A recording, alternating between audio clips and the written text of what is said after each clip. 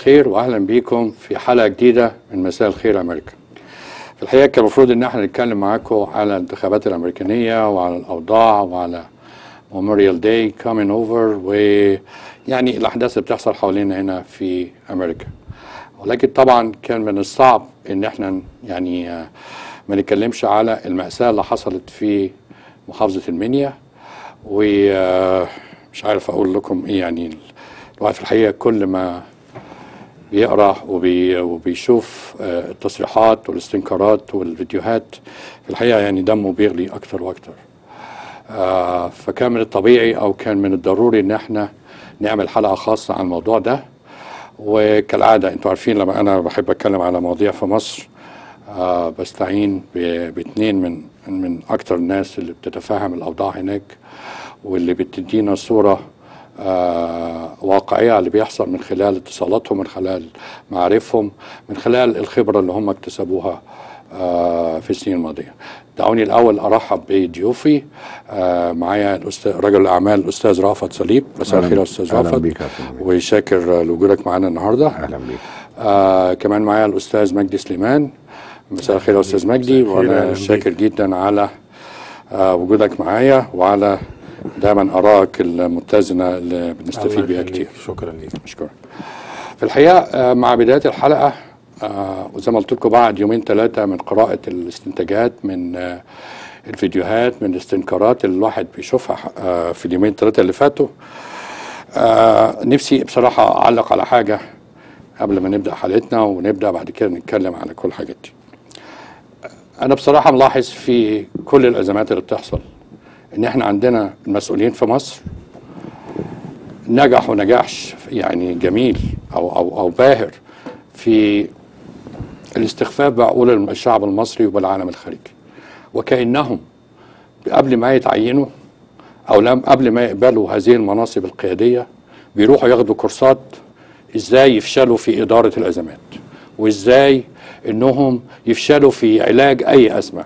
وإزاي إن هم يستغفلوا أو يستخفوا بعقول الشعب المصري. ده اللي أنا شايفه. يعني في كل حاجة حاصلة آه، ده اللي أنا بشوفه. وكأنهم عايشين في عصر تاني غير العصر اللي إحنا فيه. كأنهم عايشين في العصر الحجري عايشين في في الجاهلية. آه، وبيخفى عليهم يعني نقطة مهمة جدا. إنهم بيتعاملوا مع شعب في منتهى الذكاء. شعب ذكي بالفطرة. ما فيش شعب في المنطقة دي كلها أذكى من الشعب المصري. تطلعوا تنزلوا هي دي الحقيقة. وبي- وبيبان كده بمنتهى البساطة وهوريكم وهثبت لكم الموضوع ده في خفة دمه وفي نكته. أصل هي النكت دي عبارة عن ذكاء. يعني الواحد لما بي بيطلع بيستخدم موقف معين ويطلع منه بنكتة أو بيطلع منه بتعليق ساخر ما هو إلا ذكاء إنك تقدر تعمل كده. إحنا بنتعامل هنا مع جنسيات كتيرة وانتوا عارفين. تتكلمي حد تتكلم مع أي حد منهم وترمي كده تعليقة بسيطة يبلم لأنه ما عندوش هذا الذكاء الفطري اللي موجود في الشعب. فللأسف المسؤولين دول قدامهم شعب في منتهى الذكاء. وهم somehow بيحاولوا يستغفلوه somehow بيحاولوا ي- يستخفوا بعقله. دي حاجة. الحاجة الثانية ولا حظهم السيء يعني إن هذا الشعب في إيده أدوات تواصل وأدوات معرفة ما كانتش موجودة في الجاهلية وما كانتش موجودة في العصر الحجري حاجات اسمها iPhone حاجات اسمها موبايل حاجات اسمها كمبيوتر حاجات اسمها iPad حاجات اسمها iPhone حاجات اسمها Galaxy وكل الحاجات دي أو الأدوات دي بتسبح في بحر من من من المعلومات اسمه الإنترنت. فأنا مش متخيل ابدا إن مسؤول يطلع يتكلم على حادثة زي حادثة المنيا وينكر تماما إن كل ده حصل. أنا يعني مش مش مش مش مش متخيل إزاي واحد عايش في في القرن الواحد وعشرين. أنا بتكلم بالأخص على محافظ المنيا إزاي يطلع وينكر كل اللي بيحصل وكأننا كلنا عايشين في كوكب تاني أو كأننا عايشين في عصر تاني؟ في الحقيقة إن هو اللي عايش في عصر تاني. هو اللي عايش في عصر حجري ولا عصر آه، آه، جاهلي. حط لي فيديو number 1 لو سم... number 100 عشان اوريكم إزاي مسؤول ومحافظ كبير في البلد يطلع وينكر اللي بيحصل. اتفضل لو سمحت. هل تم الاعتداء على سيدة مسيحية وتجريدها من ملابسها فعلا؟ لا يا فندم لا لا لا لا لا. برضه. يعني لا لا في حاجات في ال هم أنا بسأل حضرتك دلوقتي عشان حضرتك المسؤول عن البيت لما ولع يا فندم ماشي يا فندم. البيت لما ولع آه. الناس جريت آه. يعني في ناس جريت وبعدين لما جريوا آه، اللي طبعا بقى اللي, اللي اللي طالع بقميص نوم ولا اللي طالع بحاجة. واللي وقع على الأرض والخوف. مفيش لا يا فندم مفيش حد جرب حد من ملابسه. ووقعت ال- ال- ال- ال- محاولة الاغتصاب أو الكلام ده كله كلام عاري من الصحة. و, و, و و يعني مش عايز أقول أدى لخلاف حتى عائلي بين الرجل ومراته. اتفضلوا أدي المسؤول عن البلد. ادي المسؤول عن المحافظه طالع بيقول ما فيش حاجة حصلت. والدنيا كلها عارفة اللي حصلت فيها. اسوسييتد بريس اتكتبت عليها. USA Today كتبت عليها. يعني ده, ده اللي أنا شفتهم. ما أعرفش إيه تاني كمان في العالم كتب عليه. مش بقول حتى في مصر في العالم كله. ال Independent؟ يعني يعني ويطلع ويقول لما فيش حاجة حصلت. فهموني إيه إيه اللي بيحصل. اديني اديني كمان الفيديو number 200 اوريك عشان إذا ما كانش شاف يمكن يعرف دلوقتي من الست الست البسيطة الست اللي قال لك دي بتطلع بملابسها الداخلية. دي الست دي عاملة زي ستي وعاملة زي أمي بالظبط. نايمة قايمة بال بال بال بال بال بالفستان. الأسود بالجلابية السوداء بتاعتها. وما تعرفش يعني إيه حتى يمكن sorry في الكلمة ملابس داخلية. وهو طالع عمال يقول لك دي طالعة دي كانت بتجري بملابسها الداخلية. التهريج اللي بيعمله ده. ولا بقميص النوم. التهريج اللي بيعمله ده وال... والاستغفال اللي بيعملوه مع الناس ومعانا وريني وريني number 2 عشان يسمع منها. إيه اللي حصل على لها؟ الوضع في المنيا بعد إذن حضرتك؟ الوضع الحمد لله ما فيش أي خلاف والأمن متواجد في على مدار 24 ساعة وال- والخلاف إن شاء الله آه، في طريقه للحل. من خلال الإخوة المسيحيين برضو يعني مش من من- مش جايبين حد من بره. نعم. يعني هم الإخوة المسيحيين للبيت العيلة والإخوة المسلمين اللي موجودين. مع الجهاز التنفيذي معانا بنحتوي أي خلاف في وقتها على طول. وطبعا بيتكلم على إن البوليس كان بيجري عشان يلحق اللي بيحصل هنا. رغم إن الست راحت لهم قبلها بيومين وقبلها بيوم. وقالت لهم إنه في إشكال حاصل في البلد وإنه في ممكن تحصل في الدنيا تولع في البلد. مفيش وبعدين فين مخ... فين المخبرين بتاعتهم اللي موجودين في كل حتة؟ اشمعنى في في في المشاكل الطائفية دي الدنيا بتختفي؟ ما فيش حد بيعرف حاجة إيه اللي بيحصل. ويسيبوا الدنيا تولع ويسيبوا الناس تتبهدل ويسيبوا ال- الناس بيوتها تتحرق ومحدش بيعمل أي حاجة. هرجع تاني أنا المسؤولين بتوع مصر وإزاي هم بيفشلوا فشل يعني كبير جدا وناجح جدا. فشل ناجح حلو الكلمة دي. فشل كبير جدا في عدم إدارة أي آه، أزمة بتحصل. بنبص ده على مستوى محلي ونبص ده على المستوى الطائفي ونبص على المستوى الدولي. دايما في فشل ذريع في إدارة أي أي أزمة موجود. وكأننا زي ما بقول لكم كده بيعيشوا في في في في, في كوكب تاني خالص. حتى في في المشاكل والأزمات الدولية. بيكلمونا إحنا مش بيكلموا العالم مش بيكلموا الناس اللي بتكلمهم. ما فيش أي تعامل أو أي خبرة في إدارة أي أزمة. وزي ما أنتم شايفين استنكار after استنكار after استنكار وفي النهاية بي- بي- بيستغفلونا ولا بيستغفلوا نفسهم ولا بيستغفلوا الشعب المصري؟ أنا أنا مش عارف مش قادر أفهم بصراحه دي حاجة دي نقطة. فشل يعني أنا النقطه الأولانية إن هم بيفشلوا فشل كبير جدا في إدارة الأزمات. النقطة الثانية بيفشلوا في علاج الأزمة. عندك أزمة. في حاجة اطلع. قول وبأقص وبأسرع وقت تطلع تقول حصل كذا كذا كذا كذا. صح غلط أخطاء حصلت. طبعا في أخطاء حصلت. كل ما بتحصل ايفنت في أخطاء حصلت. إنك تطلع تقول, لي إن البلد كلها عاملة اكننا أكن المنيا حتة من سويسرا. كل حاجة جميلة وكل حاجة هادية وكل دي شائعات وكل ده. ده ده ده عدم عدم يعني تاني استغفال مش بس بال بال بال بال بال بالبلد بالشعب استغفال لكل الناس اللي حواليك استغفال للعالم كله اللي شاف حاجات زي دي. إدارة أزمة علاج أزمة. مفيش أبدا. إزاي مفيش كورسات بتتعمل للناس دي؟ وبعدين إذا العالم دي في مواقعها دي ما تقدرش تقوم بواجبها. تطلع بره تسيب المكان تطرد. تمشي.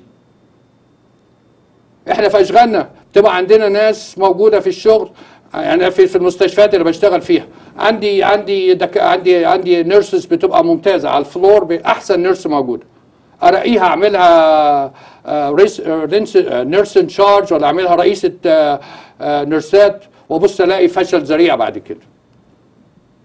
مش كل واحد ناجح في موقع ولما يترقى ويصبح في في موقع أعلى بينجح. وبالتالي لما بيفشل بروح منزله تاني. بقول لها thank you أنا مبسوط إن انت جربت التجربة دي ولكن للأسف آه، مكانك على ال floor أحسن من كده. هو ده اللي بيتم في الدول الحديثة. هو ده اللي بيتم في العالم كله. إنه الشخص اللي آه، بي- بيترقى لموقع أو أو يعين في في موقع قيادة إذا لم يقدر إن هو يصد عليه لازم يسيبه. ولازم يؤمر إن هو يسيبه. يا يسيبه بنفسه يا إما يؤمر إن هو يسيبه. أنا بضم إيه صوتي لكل الناس اللي بتقول لازم محافظ المنيا ده يستقيل. لازم ال- ال- ال- مدير الامن ده يستقيل. ويمشوا من المنطقة دي. ونجيب ناس أكفاء. ناس تت ت- ت- يبقى عندها القدرة إنها تدير أزمات وإنها تدير أو أو تنجح في حل ال- الأزمة. لكن إحنا بنشوفه ده ما. حل أزمة. يعني مش عارف أنا إزاي عشان تحل أزمة لازم ت identify لازم تحدد. الأزمة جاية منين؟ لازم لازم تقر بالخطأ اللي موجود. لازم تقول إن اللي قدامي ده عيان بال cancer. لو قلت إن هو ده لا ده كويس وشكله حلو هيموت مننا. لازم تقول إن هو ده. تعمل كده وتحدد. وت... وتقوم بعد كده إنك أول ما ما يكنولج أو تحدد ال... ال... ال- الخطأ لازم تدور على طرق.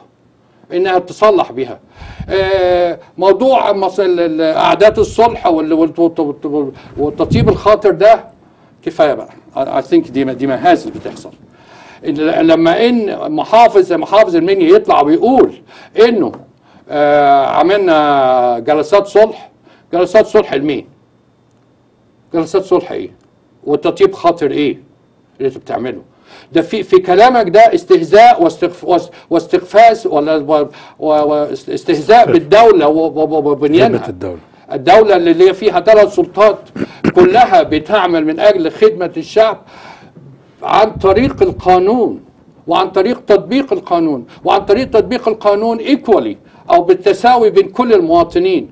مش القانون يحسب على بعض المواطنين ولا و و و ونقفل عينينا عن مو- عن مواطنين تانيين أو إنه يستخدم أقصى العقوبات مع ناس معينة مع أطفال. وفي الناحية الثانية تبقى almost ما بي- ما بيجرى لهمش حاجة. فلما يطلع محافظ زي محافظ المنيا يقول إن إحنا عندنا جلسات صلح وجل- وجلسات آه، آه، تطيب خاطر راح فين هو؟ فين موقعه في في الدولة الحديثة؟ إحنا قاعدين فين؟ قاعدين في خيمة في وسط صحراء قاعدين في وسط قبيلة. إحنا قاعدين في دولة ليها مؤسساتها وليها قوانينها. اللي بيحصل ده آه، استخفاف استخفاف بكل العقول اللي إحنا فيها.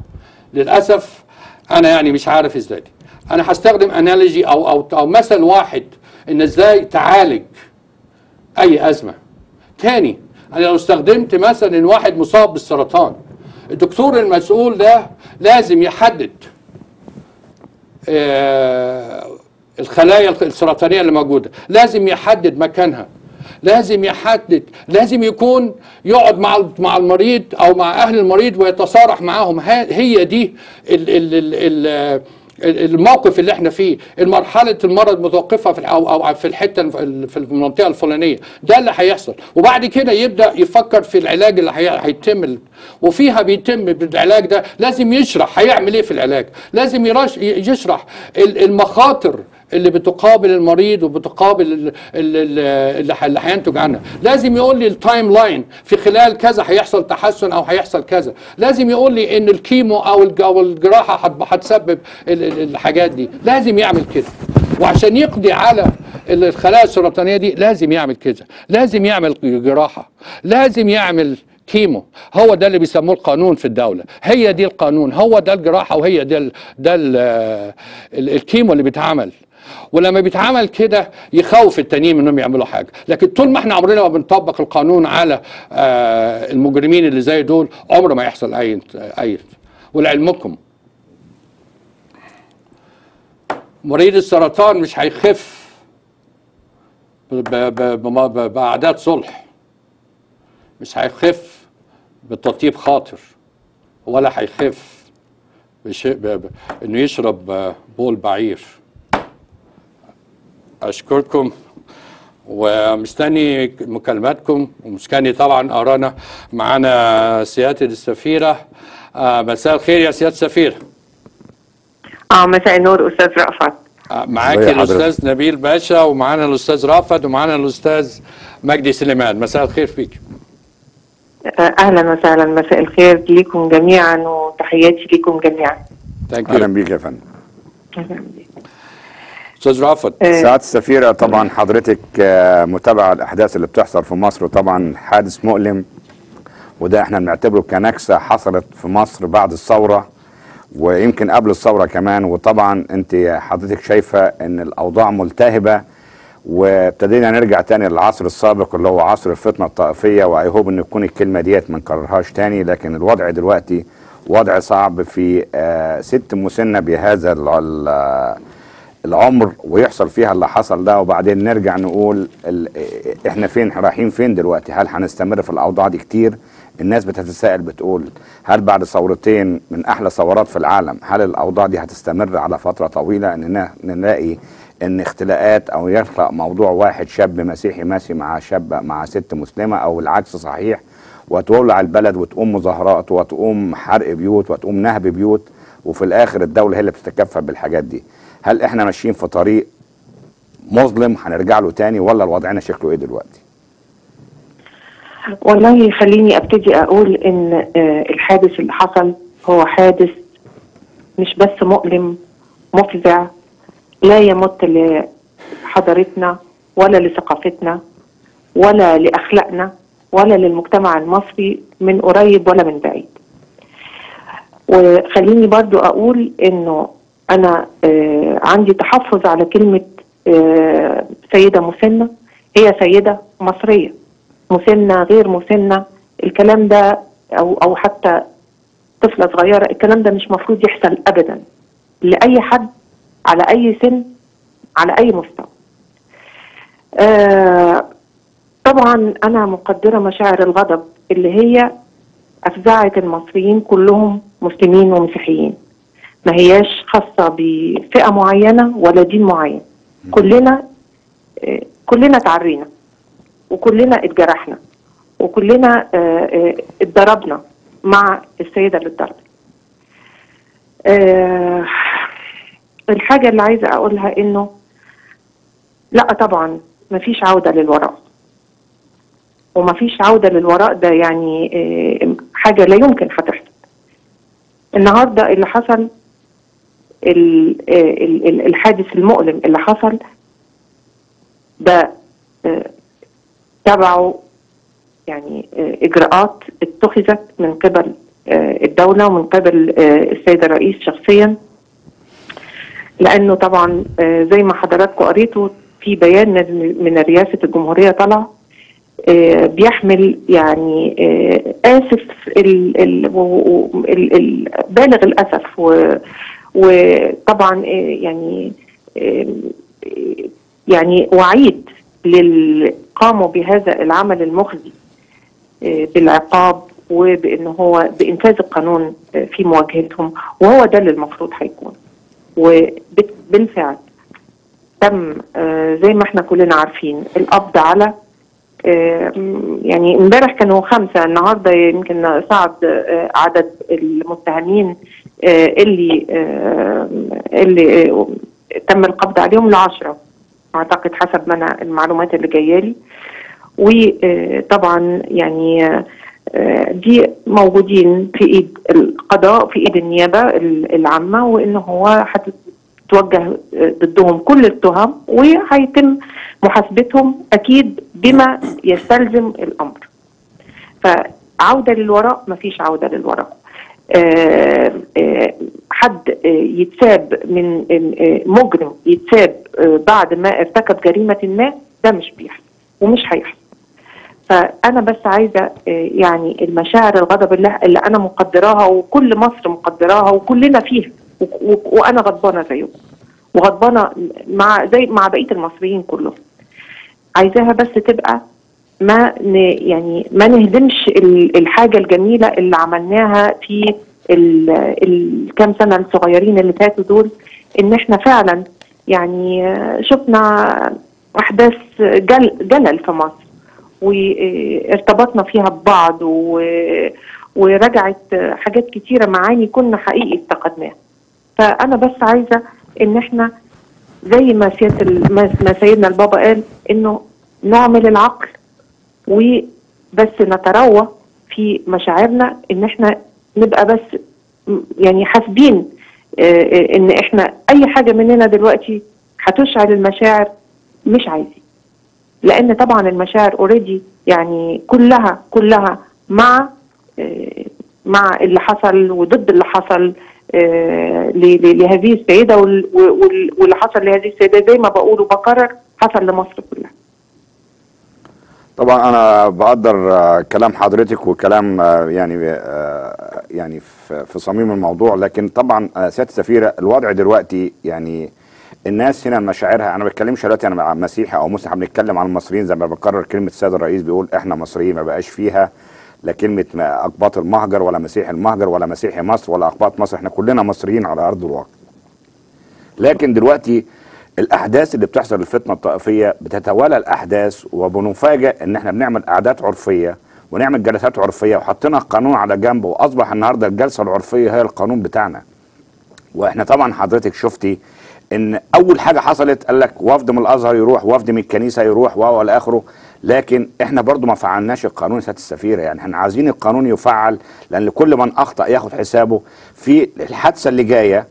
إن شاء الله ما يكونش في حوادث جاية. يبقى عندنا قانون اللي عارف اللي هيعمل خطأ زي ده أو هيقوم. بارتكاب زي ده عارف إنه هياخد 10 سنين سجن عارف هياخد 20 20 بالظبط. سنة سجن فمش هيقدر يعمل حاجة لكن إحنا عندنا مشكلة طبعا في بطء الإجراءات القانونية وبيتسبب عليها إن النهارده المجرم أو الجاني بيعرف عارف هو بيعمل إيه عارف إنه هيقعد جوه خمس ست أشهر وبعد كده يطلع لغلط في الإجراءات القانونية زي ما حصل في مع ناس كتيرة so on so on so فليه إحنا النهارده ما بنحاولش القواضي اللي بتحصل فيها فتنة طائفية أو بتحاول يعني تهدم بتهدد البلد الأمن القومي. وبتأمن الأمن العام في البلد. وبتهدد يعني بتهدد اقتصاد البلد الرئيس عمال يبني وبيعمل مشاريع.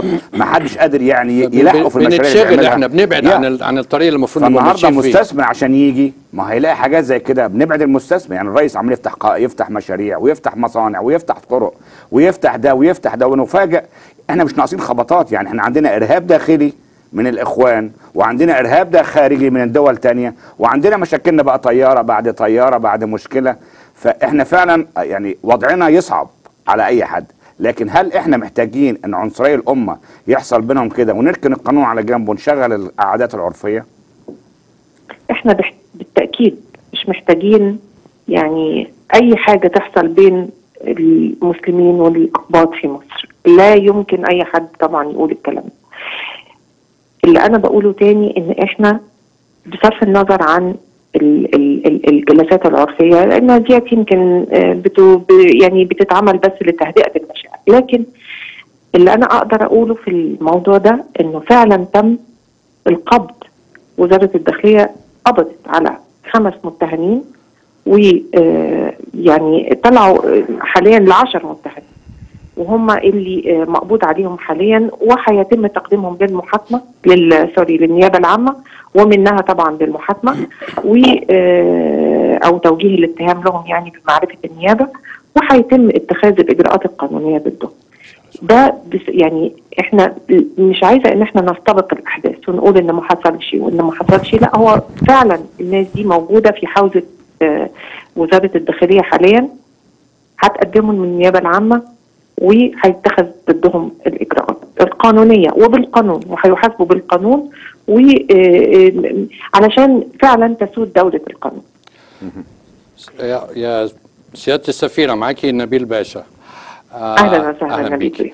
آه في الحقيقة يعني أنا كل اللي أنا شايفه في كل أزمة إن إحنا بنفشل في إدارة الأزمات وبنفشل في معظم معظم في الحقيقة القيادات موجودة في مصر بتفشل في علاج الأزمات. وما ما أدل عليه على كده من إن محافظ المنيا يطلع في برنامج على TV مع الإعلامي أحمد موسى في على في برنامج على مسؤوليتي على قناة صدى البلد. ويقول. وينفي كل اللي بيحصل. وكأنه بيستخف بعقول كل الناس دي. مين اللي بيحاسب القيادات دي؟ وازاي القيادات دي ما عندهاش ال knowledge أو ال training يعني أنا أنا متأكد من خلال تجربتك ومن خلال آه تواجدك في المجال الدبلوماسي إن أنتوا اتعلمتوا كتير عن إدارة الأزمات وإزاي تعالجوا الأزمات. أنا أنا بصراحة شايف إن معظم المسؤولين عندنا في مصر يعني يلاك النولج أو ما عندهمش المعرفة إزاي يعملوا كده. وإزاي واحد مسؤول بهذا يعني أنا ببص دايما لرئيس الدولة إنه زي أبويا. ببص للمحافظ وأنا في وأنا لما كنت في محافظة البحيرة كنت أبص للمحافظ بتاعي لإنه هو المسؤول عني وعن كل لما يجي المسؤول بمنتهى الاستخفاف بالعقول وي- ويقول إنه كل الحاجات دي شائعات وما حصلتش ويتكلم على إنه مثلا دي كانت جزء من سويسرا ما فيش أي إشكال وما فيش أي حاجة.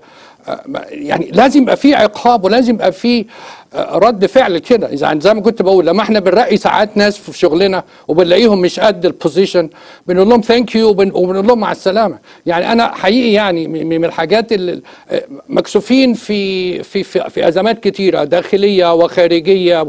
الواحد بيبقى أنا حاسس تقريبا إن إنه في ناس متخصصة إنها تشوه صورة مصر داخليا وخارجيا.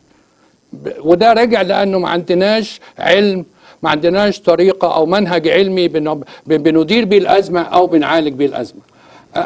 مش عارف آه، سيادتك رايك إيه في القيادات اللي هي مش قادرة أو ما عندهاش القدرة إنها تعمل كده.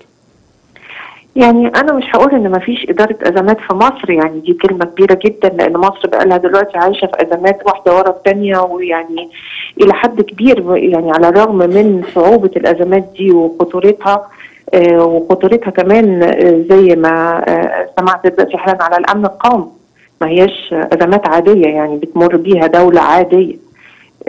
دولة مستهدفة زي مصر وتمر بكل الأزمات دي وإن هي تقدر آه، تبحر بفضل طبعا ال- ال- القيادة وبفضل المؤسسات بقى اللي ورا القيادة فده ما يعتبرش فشل في إدارة الأزمات. آه، هي حقيقة النهاردة إحنا عندنا يعني أزمات متنوعة وأزمات كل آه، آه، يعني من كل نوع ومن كل شكل وكل أزمة طبعا بتستلزم طريقة معالجة مختلفة. الأزمة اللي إحنا النهاردة فيها دي كل أسف هي أزمة متشعبة. يعني أزمة واحدة بس فيها يعني كذا آه، آه، عنصر داخل فيها. آه، طبعا أقواهم عنصر ما يسمى بال- بالفتنة الطائفية اللي هي يعني طبعا دي يعني زي ما نقول إيه حرب. يعني على مصر بتتم ب آه، إن إحنا يعني بيقولوا يعني بي بي بيوجهوها ضدنا إن هم يقلبوا الناس على بعض. آه، دي يعني إن شاء الله طبعا إحنا لينا جزء كبير جدا فيها إن إحنا نحتويها بإن إحنا نتفهم إن إحنا بس ما آه، نشعلش المشاعر إن إحنا إحنا أنا إحنا كلنا متفهمين مشاعر الغضب كلنا عندنا هذا الغضب زي ما بقول. أما آه، آه، المسؤولين فطبعا هي الأزمة لما بتحصل بيبقى فيه طبعا نوع من ال يعني ال يمكن المعلومات وقتها ما كانتش آه، متوافرة لدى ال- ال- ال- القيادة ال- اللي عملت التصريح. بس هي فعلا بتبقى الوقت بتاع الأزمة بيبقى وقت صعب جدا زي ما حضرتك عارف. يعني معلومات لسه مش مكتملة وصورة لسه مش حاضرة و يعني إنما اللي إحنا نقدر نقوله في الموضوع ده إن فعلا اتخذت الإجراءات ضد عدد كبير من الناس تم القبض على جزء كبير منهم يعني. فالاجراءات اتخذت وإحنا أهو يعني آه، طبعا في بلد آه، اتواجهت بكل ال- العدد ده من من الأحداث. في فترة قليلة جدا دي حاجة مش بسيطة ابدا على آه، مصر والمصريين إن هم يواجهوها يعني بسهولة. ف إحنا بس نبقى ورا ال- السلطات بتاعتنا وهي حقيقة بت- بتحاول إن هي آه، تعمل القانون وتحاسب المخالفين وتحاسب المعتدين.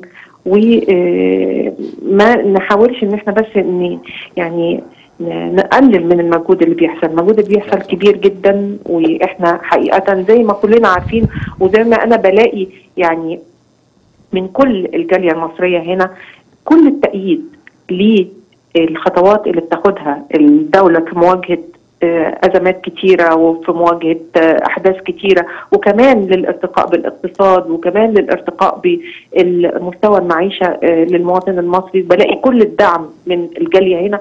أرجو إن ده يبقى هو اللي حقيقي. دايما يعني بيوجهنا ودايما آه، في في آه، في بالنا وإحنا بنتكلم عن القضايا دي. ما في شك أشكرك. معايا ال- الأستاذ بس مجدي سليمان عنده سؤال أخير وأنا سعادة شاكر السفيرة. شاكرين جدا في الوقت اللي أنت خدتيه من وقتك عشان تقعدي معانا وتردي على بعض ده- الاستفسارات بتاعتنا. اتفضل يا. أستاذ مجدي. سعادة السفيرة مساء الخير. مجدي سليمان معاكي. مساء النور يا أستاذ مجدي. أنا بشكر حضرتك طبعا على التوضيح ال- الرائع اللي حضرتك يعني قلتيه حاليا. وأنت عارفة طبعا مكانتك عندنا وفي قلوبنا من ساعة ما جيتي.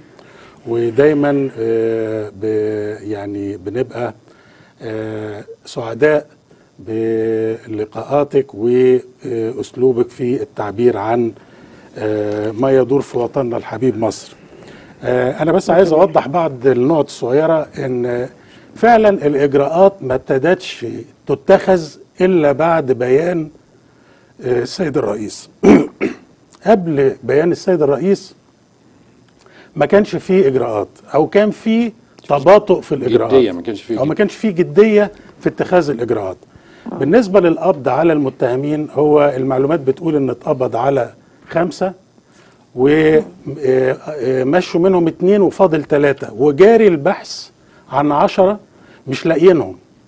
ف آه، من ناحية المشاعر هو طبعا إحنا كلنا عايزين إن الموضوع ما ياخدش حجم إن هو يفسد العلاقة بين أبناء الوطن الواحد.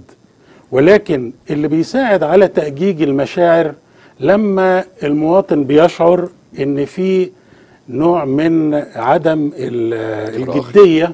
أو السرعة في اتخاذ الإجراءات وتنفيذها. يعني أنا مش متخيل مثلا إن في صعوبة في القبض عن عشرة في قرية أو عدة قرى في محافظة المنيا. آه، مع ال- محافظة المنيا دي من المحافظات المهمة جدا في الصعيد.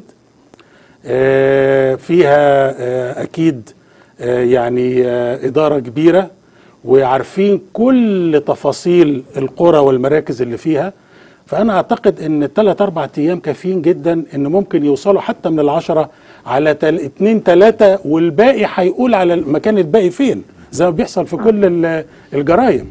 فهو ده الحقيقة اللي لما بياخد وقت ويكون مقابل لوجود سرعة وهرولة في بعض الأوقات علشان يتعمل آه، قعدات أو جلسات صلح أو جلسات مصالحة فبيعتقد الناس إن هو ده الحل وهو ده النهاية وهنجنب القانون على جنب. أنا في تصوري إن يعمل القانون والجاني والمخطئ ياخد جزاءه طبقا للقانون ومن هنا كل الناس ترتاح وهو ده العدل.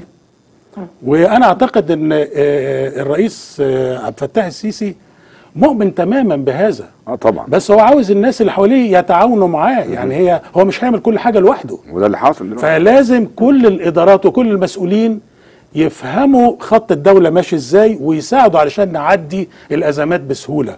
وبشكر حضرتك على وقتك الثمين ودايما بنسعد بلقائك يعني سواء في في التلفزيون أو في أي مناسبة. شكرا ليكي. متشكرة قوي قوي يا أستاذ مجدي ومتشكرة على كلماتك الطيبة ومشاعرك اللي يعني بتعكس آه، روح أنا لقيتها من ساعة ما وصلت الحقيقة. فيعني أنتوا كلكم عز- عزاز على قلبي أنتوا عارفين الكلام ده كويس الله جدا. يخليك. عارفين إن هو صحيح ومن قلبي وعارفين كمان إن أنا لما بقول إن إحنا كلنا اتجرحنا وتعرينا مع السيدة اللي حصل معاها الكلام ده أكيد. آه، ده كلام برضو أنا بأعني بأعني طبعا. فعلا. طبعا.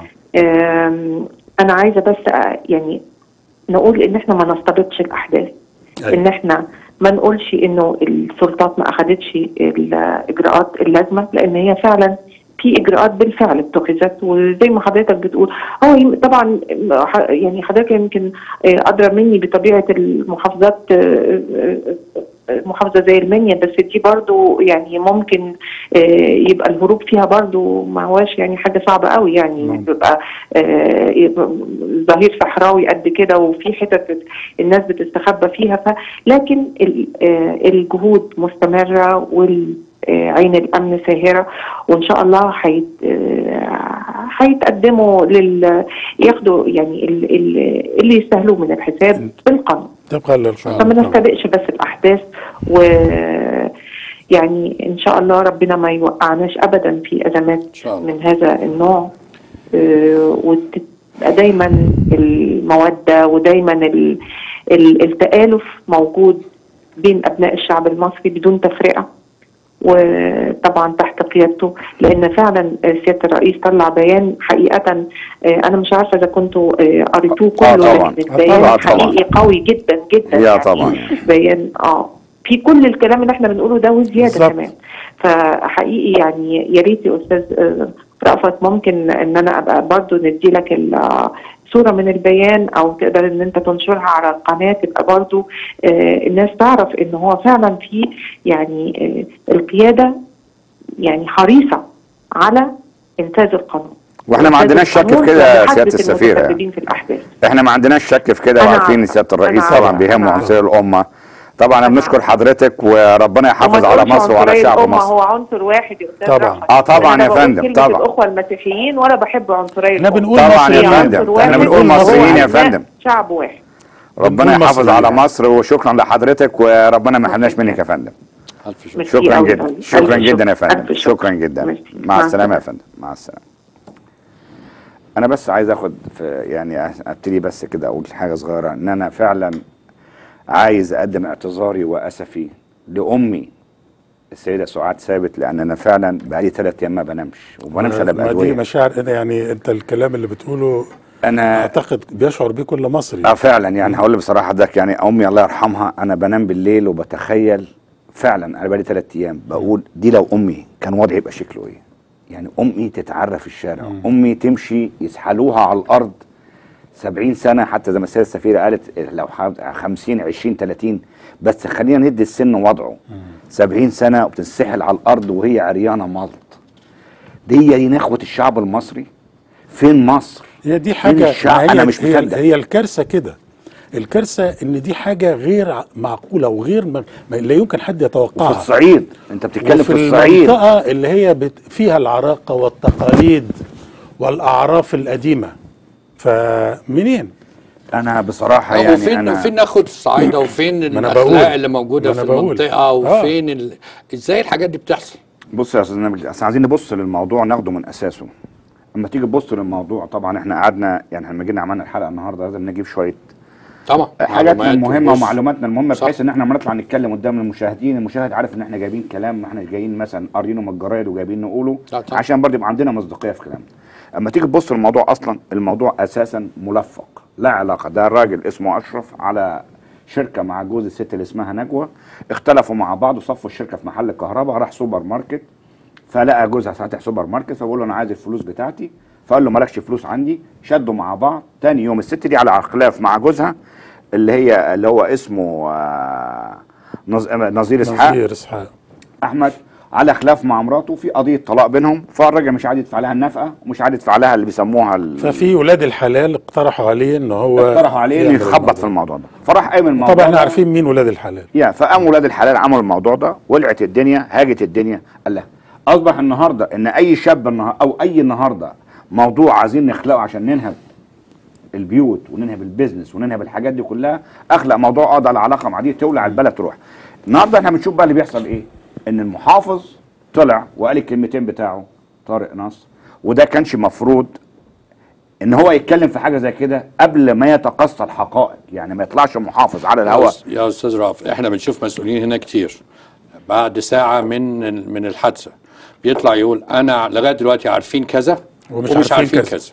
لكن لا يفترض منهم اي ما يجزمش. حاجة ما بيجزمش بالظبط يعني لو شفت ال ال ال الفيديو والكلام اللي بيقوله إنه دي كلها إشاعات. هو اجزم مريد من عمرها ما حصلت. هو ده اللي أنا بس بطلب يعني اللي أنا بطلب من الناس إن تطلع بأسرع وقت. لأن كل كمان ما بتستنى كل ما بتزود هو بص هقول لك. حاجة يا أستاذ في أصل كان في فترة في مصر فترة قبل طبعا ال- الفترة الحالية إحنا بعد ثورتين وفي وجود سيادة الرئيس عبد الفتاح السيسي المفروض كل ده اتلغى واتنسى.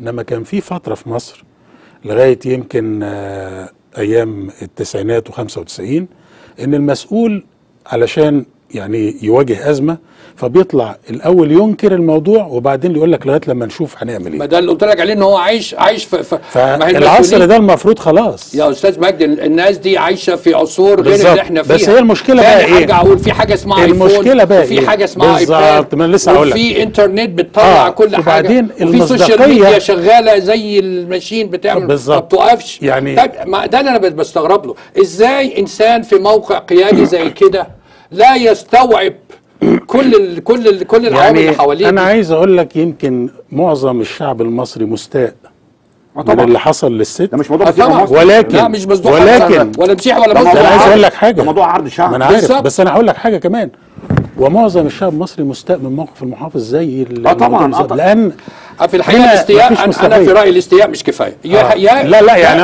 لازم الناس دي تعاقب على عدم قدرتها على قيادة أو على الموقع اللي هم فيه. أنا بضم الراي الصوتي لكل الناس اللي بت بت بتطالب إنه المحافظ ده لازم ده مش المحافظ بس. وال وال والمدير.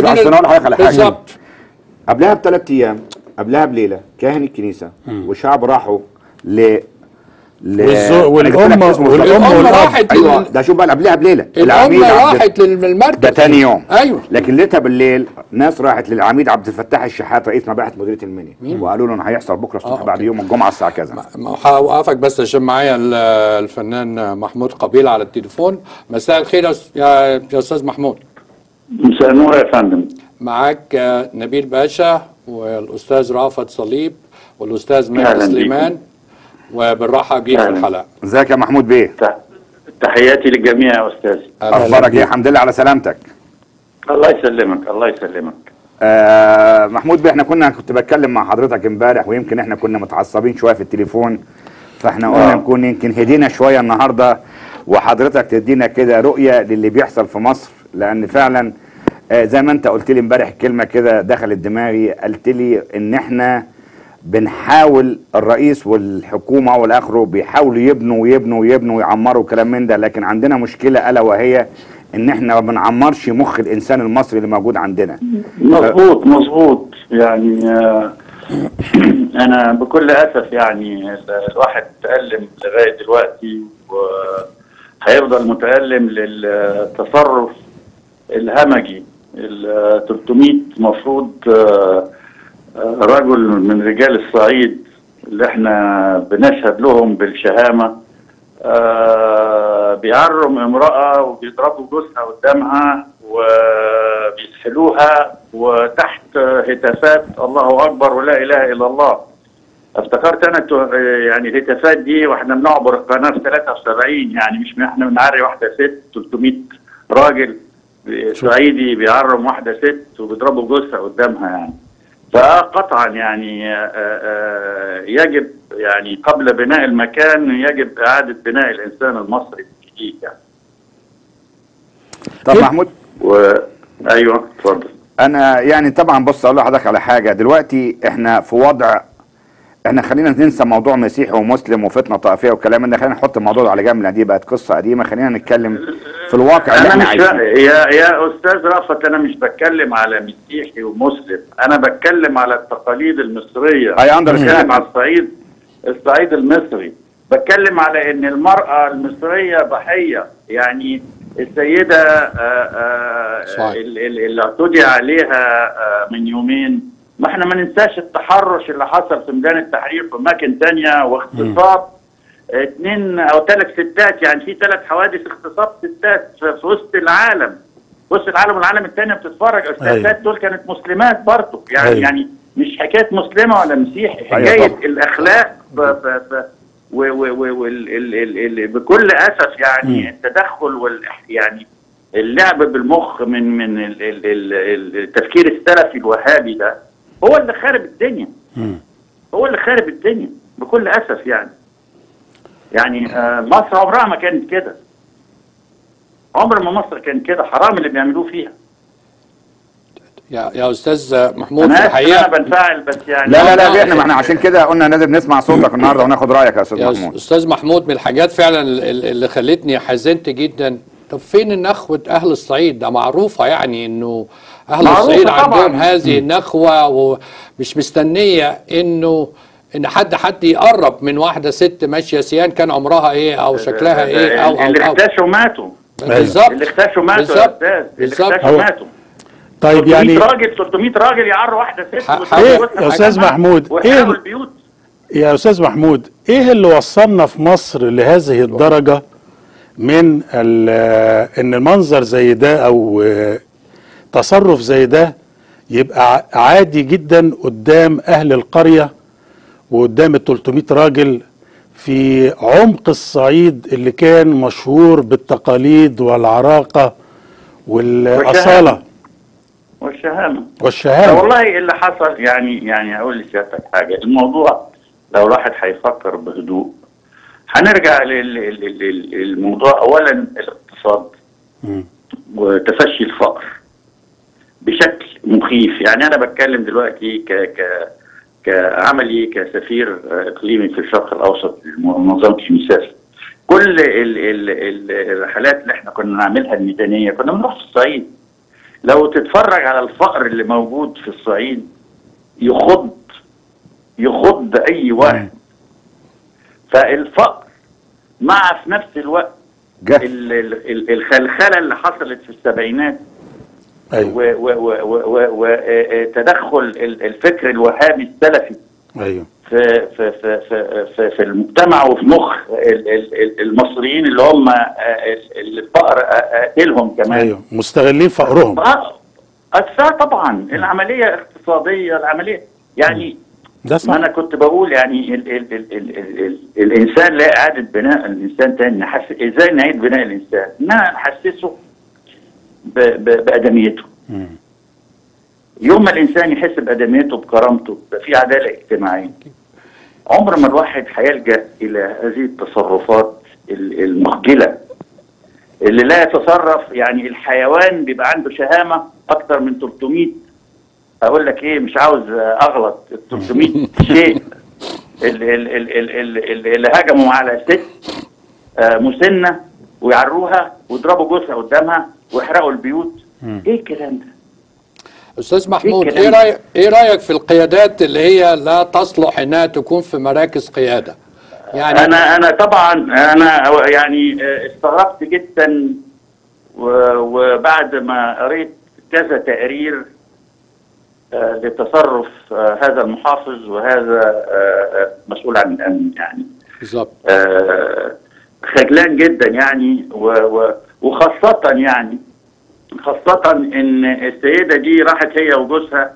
وبلغت يوم مم. الخميس على بالظبط. إن يوم الجمعة هيحصل حاجة. في ناس هيجوا يته- يتهجموا عليهم محمونة ولا حصل أي حاجة مم. ده إيه ده بقى؟ آه، هو ده كمان بي بيؤدي بينا إلى سؤال بيطرح نفسه هو إمتى إمتى المسؤول يعني يقال أو يتشال لما يحصل إيه يعني إيه الحدث اللي آه، ممكن يحصل بناء عليه يقال إن هذا المسؤول غير جدير بهذا الموقع أو هذا والله أنا أنا أنا أنا مسؤول يا أستاذ على الكلام اللي أنا هقوله. أنا لو كنت في وضع مسؤولية عن البلد كان آه هذا المحافظ وهذا رئيس الأمن اتفضلوا على بيتكم مشكورين. اتفضلوا. وبعد كده اخدهم بقى واحاسبهم على التقصير اللي هم عملوه. يا أستاذ يا أستاذ محمود. ما ينفعش انهم ما ينفعش انهم يا أستاذ. محمود القياديين في. اليابان بينتحروا لما بتحصل إشكال عندهم. طبعا بينتحروا. هراكيري مش بيستنوا حد إن. يشيلهم. آه طبعا. طبعا. ده الإحساس. بالمسؤوليه ده الإحساس بالمسؤولية يحس إن هو بيخدم الشعب اللي هو اتحط في مكان. بينسوا إن هم بيخدموا الشعب. بيطلعوا بيستغفلوا أو بيحسوا إن إحنا بيستخفوا بعقولنا كلنا. يا فندم يا فندم يا فندم دي مش حاجة دي مش حاجة جديدة يا فندم. يعني مهما إن الرئيس السيسي طلع وقال لهم أنا خادم الشعب الله يكون في عون آه، الرئيس بصراحة مع الناس دي. اللي تحته اللي تحته ما مش عارف يفهمه. يعني إذا كان القائد العام ولا الاعلى للقوات المسلحه بيقول لك أنا خادم الشعب أنا هنا عشان أخدمكم ألاقي محافظ فاكر نفسه إن هو استغفر الله العظيم ملك وهو ال- الأمر الأعلى يعني. بالظبط. واحد زي كده يروح يقعد في بيته احسن بالظبط بالظبط. محمود بيه هل حضرتك شايف إن إحنا دخلنا النهارده رجعنا للماضي تاني ورجعنا في الجلسات العرفية ولغينا القانون وحطيناه على جنب ونعمل قعدة مصطبة ونقعد بقى ونجيب ده ونصلح ده ونشرب شاي؟ ما أنا أنا الكلام يعني عارف عارف عارف. حقيقه رافض الكلام اللي أنا بشوفه وال- والازهر آه، آه، بعد ما أعرفش بيت العيلة وال Yeah. وده بيستنكر ولا آه، ده, ده ده أنا شايف إن ده كلام بتاع سينما يعني أفلام. دي أفلام. أنا مش مش شايف. أنا شايف إن ده خطأ وإجرام في حق مواطن ومواطنة مصرية ولازم المسؤول يتحاسب. ولازم ال 300 دول اللي هم يتعرفوا على مين فيهم ال- ال- اللي قام بالفعل ده يتحاسبوا ويتحطوا في السجن. مش عشان ناس راحوا قالوا آه، آه، صنافير وتيران آه، مصرية ادي لهم سنتين وخمس سنين سجن وناس تعري واحدة ست ويعتدوا عليها ويعتدوا على جوزها ويضربوها ويحرقوا بيتهم واسيبهم. لا تطبيق يعني القانون. ما لازم يعني يعني أحط أحط ناس عشان قالوا صنافير وتيران مصرية. ادي لهم سنتين وخمس سنين في السجن. ولا حكمه في خلال أسبوعين ولا ثلاثة. وعلى طول. فين بقى؟ فين فين ال يعني يعني يعني, آه يعني آه ربنا يكون في عون ال- السيسي ربنا يكون في عون السيسي الحمل كبير. هو الحمل كبير عليه بس برضو إحنا بنتمنى ان آه، ال- المشاعر اللي حصلت بين المصريين بعد هذا الحادث تقريبا جميع المصريين بكل أطيافهم مستائين من اللي طبعاً. حصل ويجب أعتقد هو ده اللي يمكن آه، بعد كمان الب- البيان اللي طلعه سياده الرئيس عبد الفتاح السيسي أعتقد إن ابتدى المسؤولين مضطرين إن هم ياخدوا موقف ويبتدي الإجراءات تبقى أسرع ومحاولات بقى اللي هي القعدات والصلح وال والكلام ده ما أعتقدش إن هيبقى لها مجال في هذه المرة لأن إحنا المفروض. نقضي على هذه الظاهرة إلى الأبد وعشان نقضي عليها. لازم نفعل القانون لو ما فعلناش القانون آه، احترام. القانون. بالظبط ويفعل القانون بالتساوي بين كل الناس طبعاً، مش مش طبعاً. مظاهرة طالعة واحد ضد وواحد معاه أنا عايز أقول لك أنا عايز أقول لك معاه. حاجة يا أستاذ محمود حاجة برضو أيوة. مهمة جدا في يعني علم الاجتماع لو النهارده ال- ال- ال- المجرم أو اللي اقترف ذنب لقى إن الرئيس المباشر أو قائد المكان بيغطي عليه ده معناه إيه بيديله مبرر إن هو يكرر هذا العمل وما يخافش بالعكس. يعمله المرة طبعاً. اللي جاية بطريقة أعنف وإحنا موجودين في دارك. هو دي الترجمة. طبعا. ممكن طبعا. رئيس المكان يكون بي- بيحاول هو مش مش قاصد إنه يداري ولكن هو عاوز يتجاوز ما نتج عن هذا الحادث بحيث إن هو ما ياخدش حجم كبير ويكون عبء عليه آه، مجتمعيا. ولكن بتجيب نتيجة عكسية مع من اقترف هذا الذنب فتفعيل القانون هو اللي بيوقف كل واحد عند حده يبقى كل واحد زي هنا مثلا إحنا في كل بلاد العالم بما فيها أمريكا القانون فيه هنا كام جنسيه وكام جاليه وكام تمام، لون تمام، وكام تمام. لغه عمرنا ما سمعنا قعده عرفيه ولكن آه، وعدم آه. عدم اديان و- وعدد الاديان واللا دين وغيره وغيره طبعاً. طبعاً. فالقانون هو الفيصل اللي بيحدد كل واحد عارف طبعاً. حدوده لغاية فين. هي دي علاقة الدولة بالمواطن. بالظبط. بتتم من خلال خدمة الشعب ومن خلال تنفيذ القانون. وإحنا عشان equally نطلع لقدام لازم عشان نطلع لقدام نطبق القانون ونبتدي بالمناطق الملتهبة. صح. على فكرة محافظة المنيا من أكبر المحافظات اللي فيها مشاكل من هذا النوع. ولها أسباب كتير دي من مدد كبيرة جدا. آه وما كانش هيبقى فيه اهتمام بيها خاص أنا أعتقد إن زيها زي الاهتمام. بشمال سينا بالظبط. شمال سينا الإرهاب اللي بيحصل هناك مظبوط، له وضع مظبوط، خاص. صح محافظة المنيا يمكن هي بؤر إرهاب طائفي. إرهاب داخل بقى الطائفة إرهاب دي. طائفي طبعا طبعا يا. طبعا طبعا الصعيد بالكامل يا يا أستاذ الصعيد بالكامل آه، أيوه آه، آه، مهمل الصعيد مهمل كله و و و, و آه، أرضية أرضية آه، آه، خصبة. يعني لأي إرهاب أرضية خصبة لأي إرهاب يحصل محمود بيه ربنا يحافظ على مصر وإحنا سعداء إن إحنا سمعنا صوت سعادتك والحمد لله على سلامتك. ونتمنى لك الشفاء إن شاء الله إن شاء الله وأنا يعني بكرر آه، أسفي و- و- و- ل- ل- ل- يعني إن مصريين عملوا كده يعني. يعني يعني دي في وشنا كلنا مصريين. صح. في وشنا كلنا. طبعا ربنا ما يحرمناش منك ومن محبتك ونتمنى لك الشفاء إن شاء الله. إن شاء الله حبيبي. شكرا جدا ونشوفك. قريب ان شاء الله. متشكر Thank يا. فندم. تحياتي يا فندم. الله يخليك يا فندم. مع الف سلامه مع السلامة يا فندم. أنا عندي بقى تعليق صغير كده عايز أقوله. اتفضل. آه دلوقتي إحنا ملناش مطالب كمصريين. عشان بس نتكلم. إحنا دلوقتي بنتكلم باسم المصريين اللي اتعرض دي أمنا كلنا ودي على دماغنا كلنا. بس أنا النهارده وإحنا إحنا يعني يمكن كنا جايبين ناس من مصر نتكلم منهم من أعضاء مجلس الشعب بس عشان طبعا الوقت الساعة 4 الصبح هناك و5 الصبح هناك فهنحاول نتكلمهم. لكن إحنا النهارده قلت لهم الصبح إحنا لينا مطالب. أول حاجة عزل طارق نصر محافظ المنيا. عزل رضا طبلية مدير الأمن. عزل العميد عبد الفتاح شحات رئيس المديرية عزل الكذاب الأكبر العمدة اللي اسمه كرم راغب لأن هو ده سبب المشكلة الرئيسية اللي بعت الغفر بتوعه وقال لك البلد ما فيهاش أي حاجة وأنا سمعته النهارده وحاولت أتصل بيه قافل تليفونه لأنه فعلا هو ده أساس المشكلة كلها. قال لك الغفر بتوعي كلهم تمام ما فيش أي حاجة ده البيوت كلها سليمة. الأربعة دول لازم يتشالوا. لأن أنا هدي لحضرتك مثل صغير على القانون أنت النهارده بتحاكم هشام جنينة ليه؟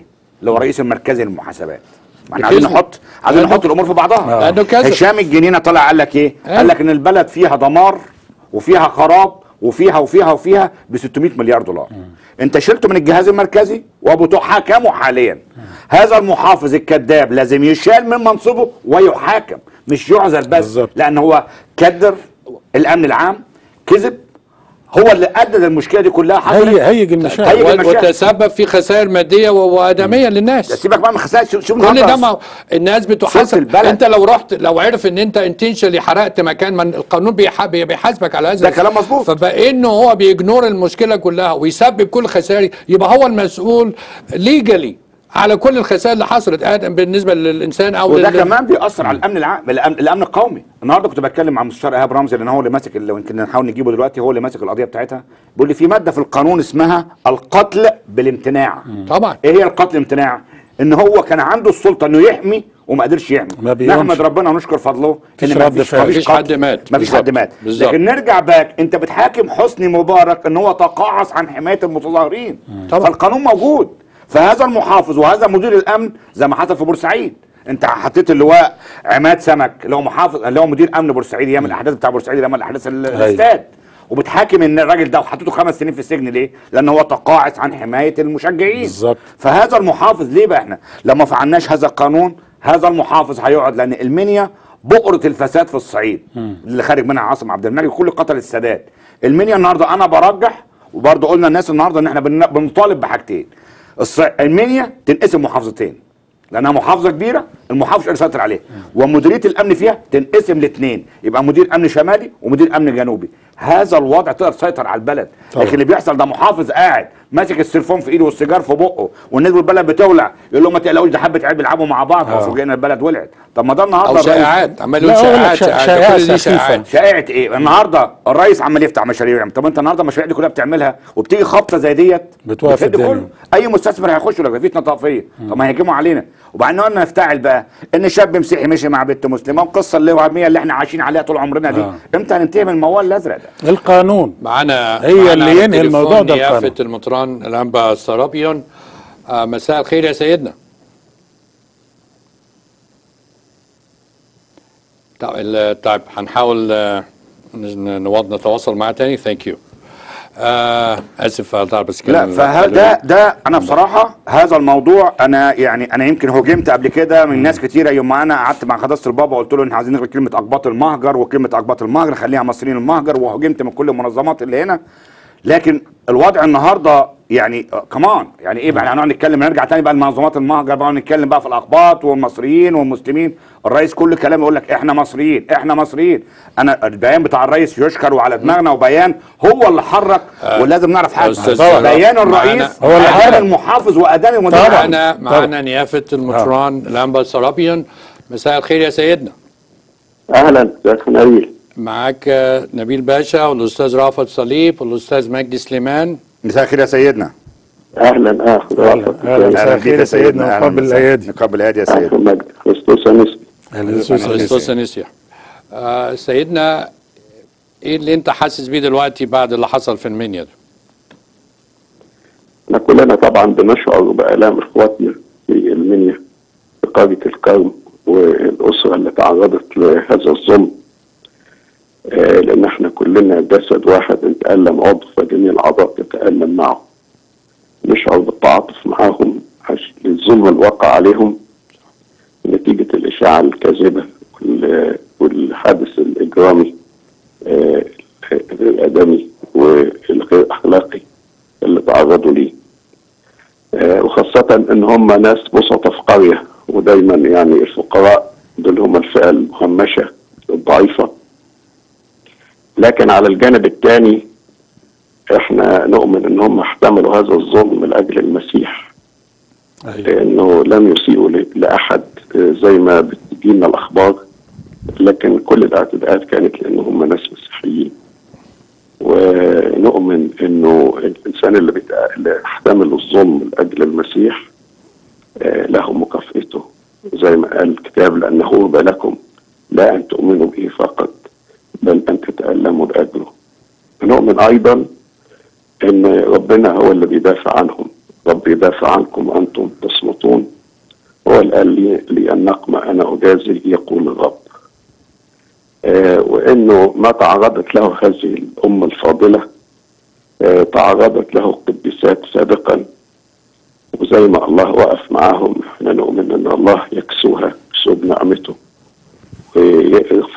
ويقوي نفسيتها في هذه الظروف آه، ويديها إنها تشعر إنها في شركه آلام مع المسيح. والحقيقة أنا آه، يعني قبل ما آه، أتكلم معاكم كنت شفت فيديو لهذه السيدة الفاضلة هي سعاد ثابت بصوتها. بتعبر فعلا عن قوة الإيمان المسيحي ست بسيطة. بتتكلم لاجل في دقائق معدودة. الأول بتشكر قداسه البابا الانبا مكاريوس رئيس السيسي. لكن نفسيتها القوية إن هي اولا بتقول إن أنا مش ما طلبتش ومش عايزة مساعدة من حد.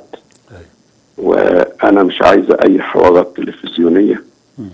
وأنا مسامحة الناس اللي اساءوا الي الكلمات البسيطة دي آه، بتعبر على آه، نفسية قوية. ما بتظهرش كإنسانة منهاره بتستعطف الناس.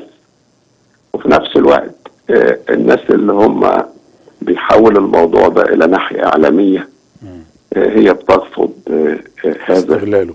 لأن هي بتشعر آه، مصدر القوة ليها هي إيمانها المسيحي وإن ربنا هو اللي بيقويها هو اللي بيسندها وده يقودنا لنقطه مهمة آه، إحنا ككنيسة من خلال الحدث ده اللي هو طبعا آه، ليس الحدث الأول هو أهمية التركيز على العمل الرعوي المكثف لخدمة آه، أولادنا اللي بيتعرضوا واللي هيتعرضوا آه،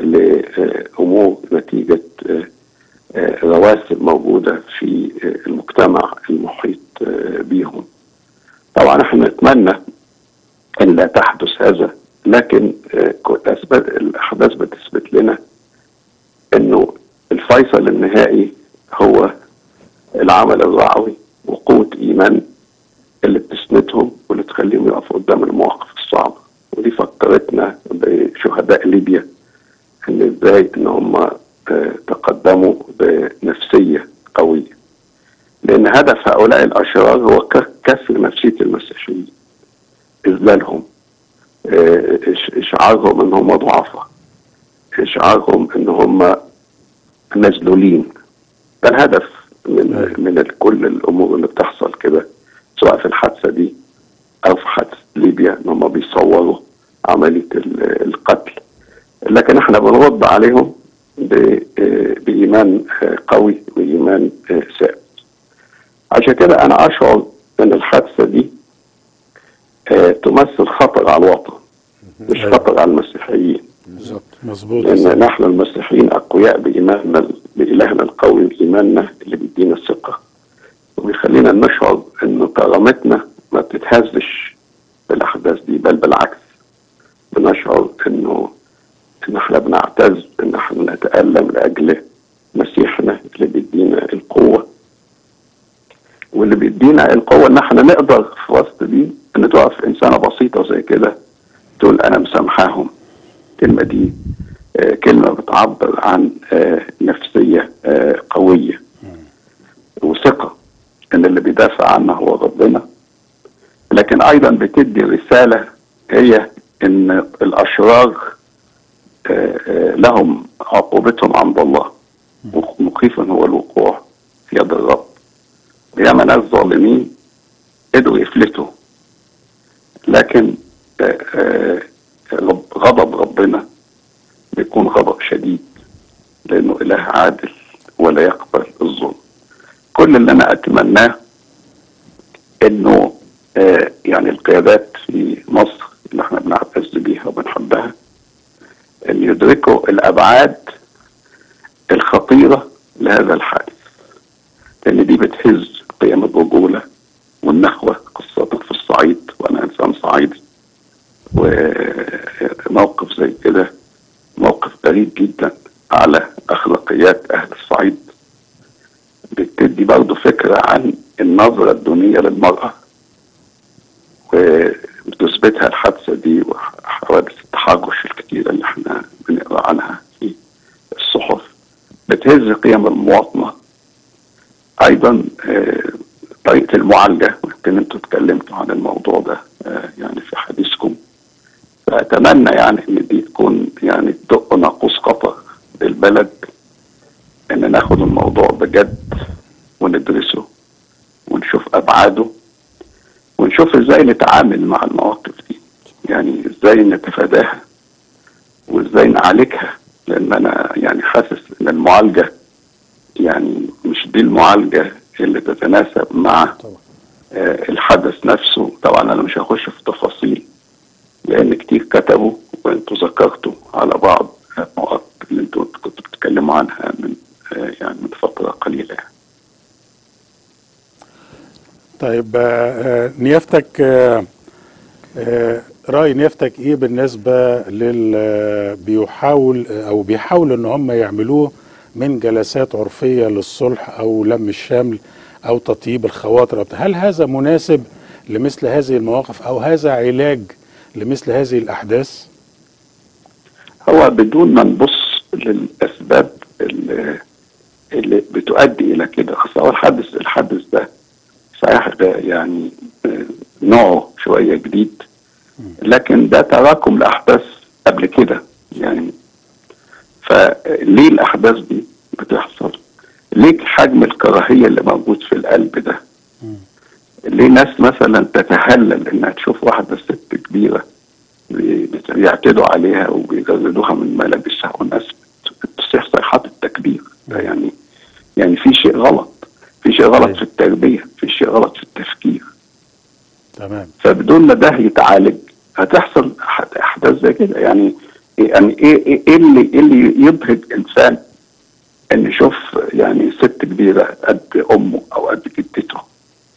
بيحصل فيها زي كده وهو فرحان. طب فرحان في إيه؟ هل فرحان لأنه يعني شايف إنسانة مثلا بتتألم؟ هل فرحان لأنها مسيحية؟ يعني لازم الأسئلة دي تتسأل. آه، ويتعرف ليه؟ ليه ليه إحنا وصلنا لكده؟ هنقول لا دي قلة يعني بس متكررة.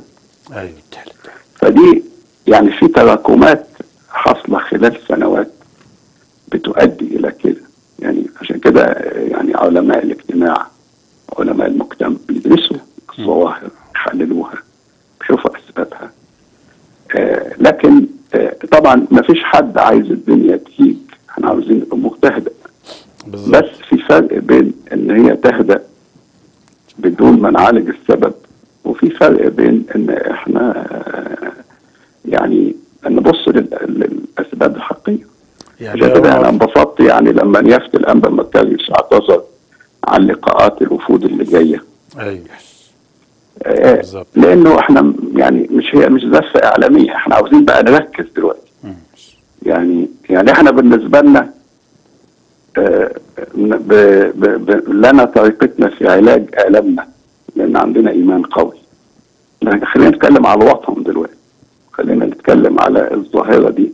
آه. اللي آه، للأسف إنها بتتكرر. والظلم أصل لما يحصل على مجموعة ما هيحصل على التانيين برضه. ما هو الظلم ما بي... الظالم ده ممكن يبدأ بفئة لكن بتمتد للآخرين. أيوه. هل نيافتك يا سيدنا شايف إن الأحداث اللي حصلت قبل كده وما حصلش فيها القبض على الجاني الحقيقي زي ما حصل في امبابة وحصل في العمرية وحصل في العمرانية وحصل في شبرا الخيمة أو كنيسة القديسين. ونعمل قعدات عرفية وبعد ما نخلص القعدات العرفية إحنا نسيج واحد ويطلع الكاهن مع الشيخ وتخلص العملية على كده. هل إحنا النهارده في وضع إن مفيش القانون بيتفعل بالطريقة المظبوطة وبتلغى القعدات العرفية؟ يعني زي مثلا إحنا في أمريكا هنا في أوروبا عمرنا ما سمعنا عن قعدات عرفية. اللي بيغلط بياخد القانون بيحاكمه وخلاص نو آه، بنت جورج بوش كانت ماشية وسايقة وهي سكرانة واتقبض عليها وخدت ثلاث أيام في السجن وهي بنت رئيس الجمهورية أعلى رئيس جمهورية في حتى العالم لما الضحية بتتنازع عن حقها الستيت لا تتنازع عن تتنازع عن حقها حقها. بالظبط فهل تكرار هذه الحوادث وقعدات العرفية هل ده سبب إن إحنا هنشوف المواقف دي كتيرة وهتحصل أكتر من كده تاني ولا نيافتك شايف إن إحنا أنا أعتقد إنه مفيش معالجة للأسباب الرئيسية. الأساس. يعني صح. يعني ال- ال- ال- ال- الفكر نفسه طريقة التربية. آه، يعني دي كلها حاجات عايزة يعني عايزة علاج. يعني هو برضه حتى انت لو قبضت على مجموعة طبعا لازم يعني القانون ياخد مجراه. لكن بدون ما تعالج ال- الظاهرة الاجتماعية ظاهرة اجتماعية غريبة يعني في المجتمع. هي مش مجرد بس يعني ناس اجرموا في جريمة. إحنا قدامنا جريمة مجتمع. يعني مش جريمة أفراد. فليه؟ لأن في ظاهرة. يعني الظاهرة دي بتظهر في حاجات تانية. آه ممكن أنت تمسك المجموعة دي ولازم لازم مثلا نقول القانون يفعل في هذا الأمر. لكن بدون ما تعالج الأسباب اللي أدت إلى كده هتتكرر تاني. يعني ال- الأمر هيتكرر تاني مع مجموعة آخرين. بالإضافة إلى أيضا طريقة المعالجة يعني الجدية في المعالجة. يعني ما تسمع التصريحات مرة واحد يقول لك لا ده موضوع بسيط وبعدين لا ما حصلش. يعني في تضارب في التصريحات اللي هي طريقة الإخطاب الإخفاء. يعني. نخفي عن الموضوع آه، نقلل منه نضلل ال- ال- وبعدين مثلا النهارده بيقولوا؟ لسه لحد دلوقتي ما قبضوش بعد أيوة. المدة الطويلة دي. طب ليه راحوا فين الناس؟ ده دي قرية يعني القرية دي الناس بتبقى كل حاجة فيها مع مع معروفة يعني. طبعا. هل في عجز مثلا عن القدرة؟ أو في رغبة؟ يعني في يعني أقصد إن في تساؤلات كتيرة. إحنا بنقولها حرصا على بلادنا. لأن أنا بشعر لما يعني أنا مش قدام جريمة عادية. أنا قدام ظاهرة مجتمعية. ممكن تدمر الوطن حتى. آه بتظهر بأشكال كتيرة. بس دي جت في صورة يعني بشعة. يعني ضخمة جدا يعني. لكن. أنت قارنها. طب أحداث كتيرة بتحصل برضه اعتداءات موجودة. آه سواء من جانب المسيحيين أو من جانب المرأة أو من جانب التدني الأخلاقي يعني الانحدار الأخلاقي اللي موجود. كل ده دي ظاهرة مش مجرد بس الجريمة في حد ذاتها. فلذلك يعني أنا أتمنى إن يعني ال- الغضب الشعبي اللي موجود في مصر نتيجة هذه الجريمة انه يترجم إلى آه، دراسة عميقة لأسباب هذه الظاهرة عشان آه، نقضي بقى على الظ- الظاهرة دي. لأنه آه، حقيقة يعني مصر زي ما دايما بيردد الرئيس السيسي هتتقدم بشعبها المصريين. فلو في شيوخ في المجتمع المصري زي كده آه، ده يخلينا إن إحنا قدام يعني آه، يعني ريد فلاج علم أحمر آه، إن في حاجة لازم نعالجها لازم نهتم بيها. وده اللي ما. نستناش لازم الرئيس هو اللي يتدخل في كل حاجة. يعني الرئيس مش معقول. يعني كل شيء نستنى نشوف الرئيس هيقول إيه. وبعدين نتصرف ما هو ده الواحد كل واحد. سيدنا. إن إن الرئيس إن إن عندك كل حاجة. واحد تعبان أطالب السيد الرئيس. واحد عايز يشتغل أطالب السيد الرئيس. يعني لولا التدخل السيد الرئيس والبيان اللي اصدرته رئاسة الجمهورية لا كانش يتحرك المحافظ ولا يتحرك مدير الأمن ولا رئيس المباحث ولا عمده البلد ولا عضو مجلس الشعب نفسه. فإحنا شايفين إن إحنا مستنيين الرئيس في كل حاجة يتدخل فيها. وبعدين النهارده الرئيس بيطالب من يوم ما جيب الخطاب الديني. الخطاب الديني هيغير مفاهيم كتيرة. طب إيه سبب تأخر يعني ان ان يعني ان إحنا نترجم الخطاب الديني وينزل على أرض الواقع عشان نغير مفاهيم الناس دي لأن الناس دي جواها حاجات وبعدين في مشكلة تانية يا سيدنا بيحصل إيه؟ أي حاجة تحصل إحنا مدخلين فيها الإخوان. ما إحنا برضه إحنا عارفين الإخوان بتلعب من تحت لتحت. بس مش عايزين نسيب يعني الموضوع الرئيسي ونجري على حاجات تانية. يعني زي ما قلت قبل كده في أكتر من حلقة إن مريض ال cancer ما بيعيش يا سيدنا ب Advil و Tylenol لازم نعمل له بتر من أساسه ونبتدي نعالج ونشوف إيه المشكلة. لكن إحنا عاملين ندي Advil Advil Advil من the last من من سنة 70 وإحنا عاملين ندي أدفل وتلانول لحد ما وصلنا اللي إحنا فيه. طب إمتى هيتفعل الخطاب الديني؟ طب إمتى الإعلام هيقوم بدوره؟ إمتى الإعلام هيبعد عن إن هو يجيب لنا النوعيات اللي بيحطها على التلفزيون؟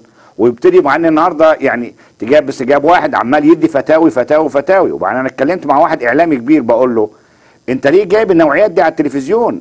قال لي ما إحنا بنجيب ده ونجيب ده عشان خاطر نظهر الوجه القبيح بتاعهم للناس. ما هو خد بالك برضه إن في ناس عاقلة بتسمع الكلام ده. لكن في ناس يعني على. كل حال يعني على كل حال اللي أنا بقوله إنه يعني هو الذي أرجوه إنه يعني آه، أنا طبعا يعني نرجو ونصلي لأجل الأسرة دي وللشعب نصلي آه، لأجل البلد. ونرجو إن دي يعني تكون ربنا يحولها للخير إن تنبهنا للخطر اللي موجود. ونتفاداه و- وزي ما إحنا دايما بنقول إنه يعني مصر قادرة إنها تتجاوز مثل هذه ال- ال- الأزمات آه، اللي بتؤثر طبعا على المسيرة اللي البلد ماشية فيها يعني. شكرا يا سيدنا. الوقت نيافتك وسعدنا جدا آه، بالمداخلة ورأي نيافتك ونقبل الايادي يا سيدنا. ونقبل الايادي وإن ربنا شاء الله معاكم الله يخليك يا شكرا سيدنا. يا سيدنا. وربنا يعني يعدي مصر من الأزمة دي وأي أزمة إن شاء الله يا سيدنا. شكرا. شكرا. يا سيدنا. اتفضل يا سيدنا.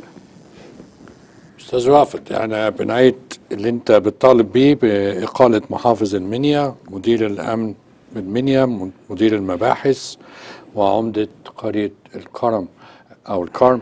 آه وده مش ابتداء مننا إحنا في مصريين كتير لا جداً يهدأ أعداد- لن يهدأ لنا بلد مدير أعداد الشارع ضخمة جداً. ويحاكموا ويحاكموا مش. يعزلوا بس بالظبط. طالما بتحاكم هشام جنينة لازم يحاكم هذا الشخص بالظبط. ولازم يطلع الأخطاء لو لأن هو هو السبب في اللي إحنا فيه دلوقتي وبيحاكم البحيرة وبيحاكم آه، نعوم وبيحاكم ناس في كلام والثلاث أطفال الصغيرين الثلاث أطفال اللي دخلوا السجن في اللي دخلوا لأنهم كانوا نعم. بيمثلوا تمثيلية آه، أطفالية أو طفولية. إحنا مش عايزين كل حط كل حاجة الرئيس بيعمل ما آه في طبعاً. وسعه لكن مش كل حاجة هنحملها. لولا تدخل يعني ما هنتدخل نستنى ما واحد النهارده.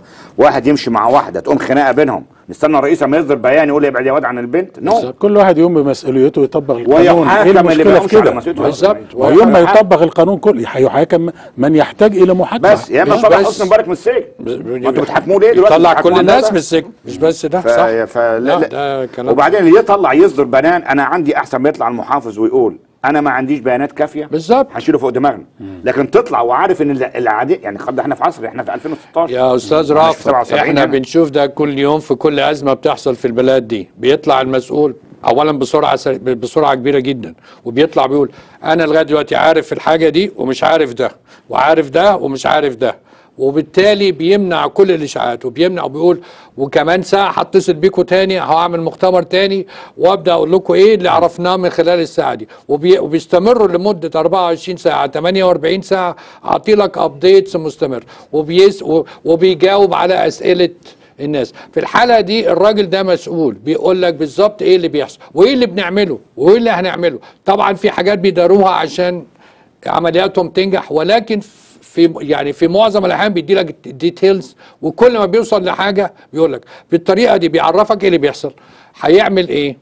بي بي بي بيستغل الشعب إن هو يساعده كمان. لما بيدور على حد فلاني بعربية فلانيه مش معينة بكذا بكذا فهو في تفاعل وبتحس فيه إن هو بي إن هو فعلا بيخدمك هو فعلا بيعرفك إيه اللي حاصل بيعرفك أنا هعمل إيه أو عشان بعمل كده إيه. أنت ما عندكش أي مجال إن أنت ما تصدقوش. بالظبط. وما تقدرش تسمع طرف تاني. انت عندك وبالتالي لو في المصدر الموثوق ولو في شائعة طالعة ما بتسمعلهاش. لأنك عندك مصدر موثوق كل ساعة أو كل ساعتين أو كل أربع ساعات بيعرفك إيه اللي بيحصل.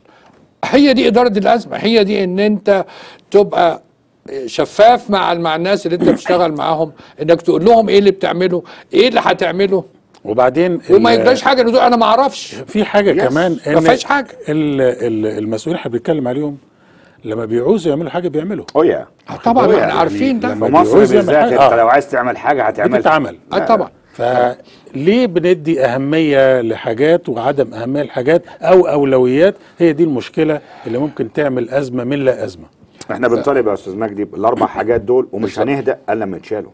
ويحاكموا زي ما بتقول ويحاكموا لازم. يحاكموا لأن أنت بتحاكم هشام جنينة بهذا السبب. نمرة أربعة أنا بنطالب السيد الرئيس لأن طبعا النهارده هنعمل زي الناس كلها ونطالبه بيه لأن النهارده اتضح إن كل قرار لازم يجي منه هو لأن البلد كلها النهارده حاطة الحمل عليه هو وأنا مش عارف الله يكون في عون الراجل ده بينام إزاي. طبعا. إن النهارده في مادة طالما الناس هتخش المحاكمة يا إما نحولهم محاكمة عسكرية عشان ياخد حكم سريع وعشان يبقى رادع لكل واحد تسول لنفسه إنه يعمل حاجة زي كده تاني أو نلغي المادة 17 من قانون العقوبات اللي هي مادة بتاعت الرأفة. إن القاضي ليه حكم إن هو يدي الرأفة لواحد لو واخد 20 سنة يديله رأفة خمس سنين. مفيش رأفة في الموضوع ده. الموضوع ده مصر كلها اتعرت إحنا ما بنتكلمش على ده مسيحي أو مسلم. إحنا بنتكلم. على موضوع العالم كله بيبص لنا. كمان إحنا في أصل 2000 هو الموضوع ده فيه كل حاجة. فيه الإرهاب وفيه. خطورة على الأمن القومي وفيه إجرام. وفيه جناية يعني وفي كل عدم- ال- وفي آه، عدم. أخلاق. وفي عدم أخلاق وفي عدم ويعني في تقاليد. صح في كل فيها يا أستاذ مجدي كلنا بنحب بنحب مصر وكلنا بنعبد مصر. طبعا. يعني من قيمة أسبوعين السيدة السفيرة طبعا الست ديت عامله مجهود رائع جدا. جت وزيرة الهجرة وكانت عملت مؤتمر كبير وانت يمكن حضراتكم حضرتوه بتوزع شهادات الدولارية. نيافة الأنبا سرابيوم عمل في ال في ال في ال في ال في المكان بتاع نيافته في ال- في القاعة بتاعت نيافته عمل آه، مؤتمر تاني وجاب مدير البنك في في نيويورك وبرضه عشان يساعد على زياده الشهادات الدولارية. يعني الكنيسة بتشتغل والسفيره بتشتغل إحنا كلنا بنحب بلدنا كلنا عايزين نساعد بلدنا. لكن بتيجي خبطات زي كده بتخليك تقف تقول إيه؟ هو في إيه اللي بيحصل؟ ده إحنا عايزين نتقدم عايزين نلغي إحنا قلنا بثورتين. فكل المجهودات دي بتيجي حاجات شائبة صغيرة زي كده بتبوظ كل اللي بيحصل.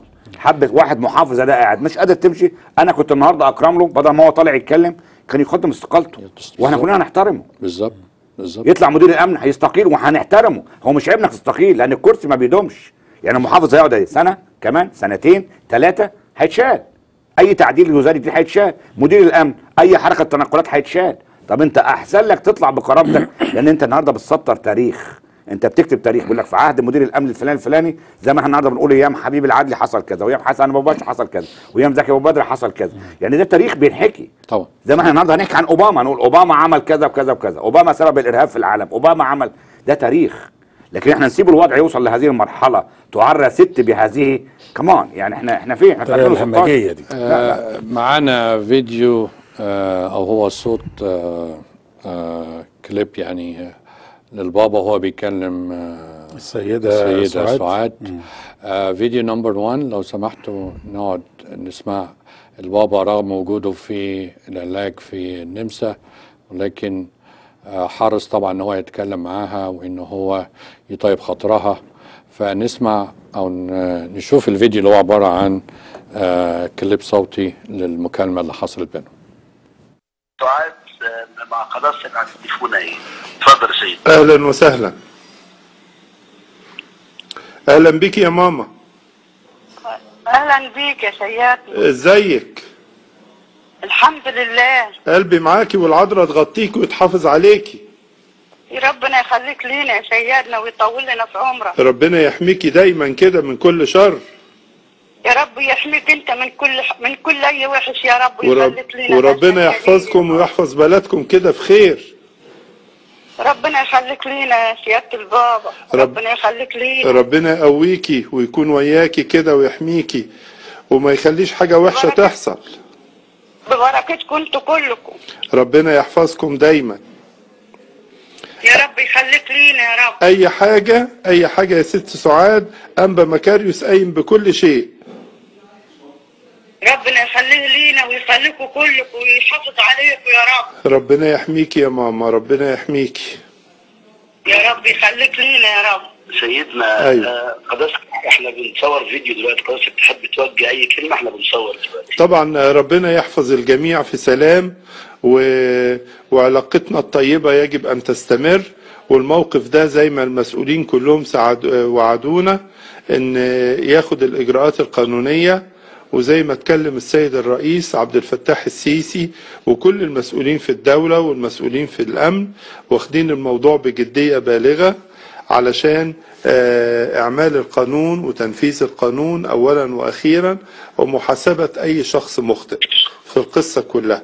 آه، طبعا ده في الشق الجنائي لكن في الشق الاجتماعي آه، كل المصريين محفوظين في مصر في علاقات طيبة بين كل المسلمين والمسيحيين وإن حصل موقف وإن كان موقف مشين وموقف آه، مؤلم للغاية. وأنا شخصيا في رحلة العلاج اللي موجود فيها آه، يعني أعاني منه كثيرا لكن أنا واثق أن الله يمرر كل شيء بهدوء وبسلام و ويحفظ السلام اللي موجود واللي عاش بيه كل المصريين ويحفظ مصر كلها بخير. وطبعا اتفضل قداستك توجه كلمة للسيدة سعاد. أيوه. آه، طبعا يا ست. سعاد اللي اللي حصل ده لا يقبله إنسان ابدا لا جوه مصر ولا بره مصر وهو شيء مؤلم ومخزي والجميع يتأسف له. ولكن إحنا دايما بنبص لقدام وبنتذكر السيد المسيح لما تعرى أيضا في أحداث الصليب وربنا يحفظك من كل شر ويحفظ كل الأسرة وكل البيت وكل القرية ويحفظ البلد كلها في سلام.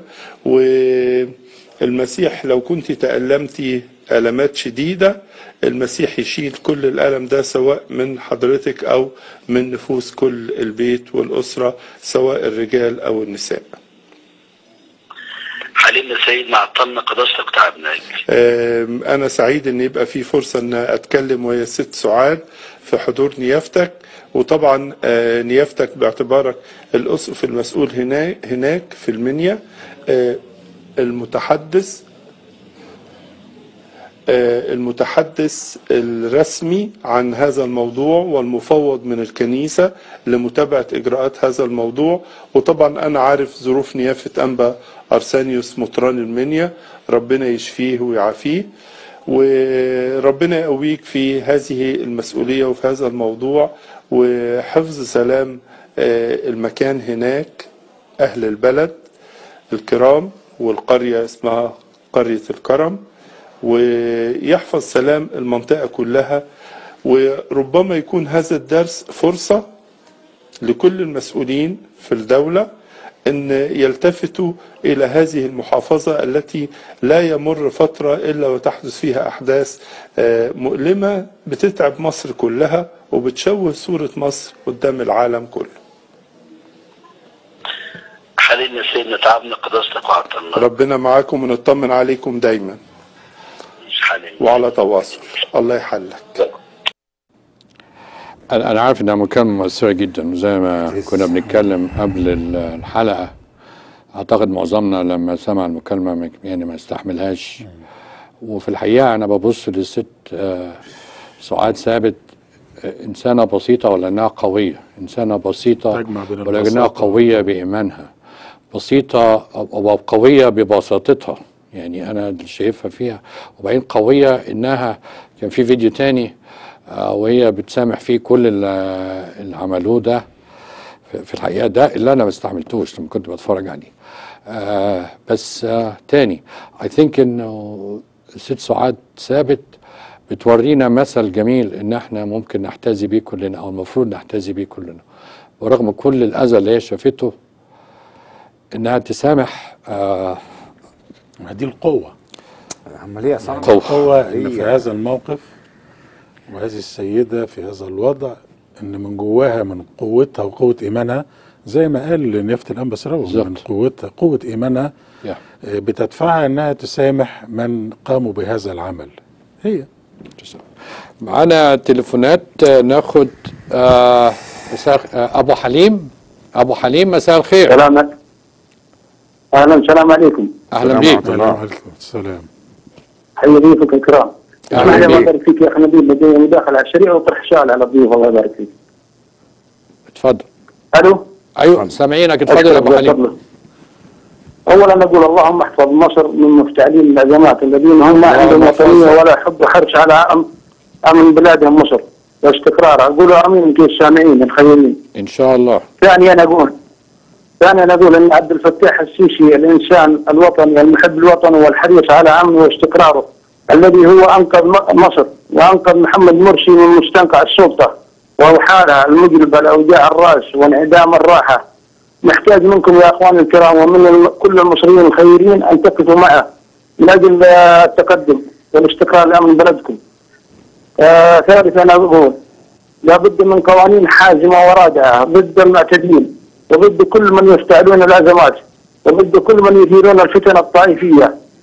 وأنتم تعلمون يا أخوان أن من امن السجون والمشاهدات والعقوبات الرادعة سوف يستمر في تجاوزاتهم وافتعالهم للأزمات بأعمالهم ضد مصلحة البلد.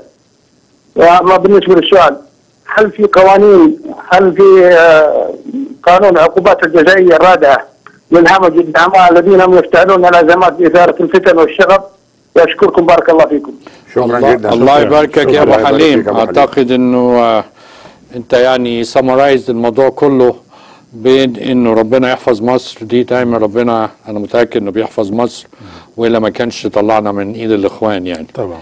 ان إحنا كان حظنا كويس ان الرئيس عبد الفتاح السيسي جه وانقذ مصر من السرطان الاخواني وان إحنا صح كشعب انقذ المنطقة كلها. بنحاول آه، أو لازم نعمل كل اللي في جهدنا إن إحنا نتعاون معاه وبالاحرى طبعا المسؤولين اللي في كل مكان. يعني حرام إن الراجل يكون بيشتغل لوحده من ساعة ما جه لغاية دلوقتي.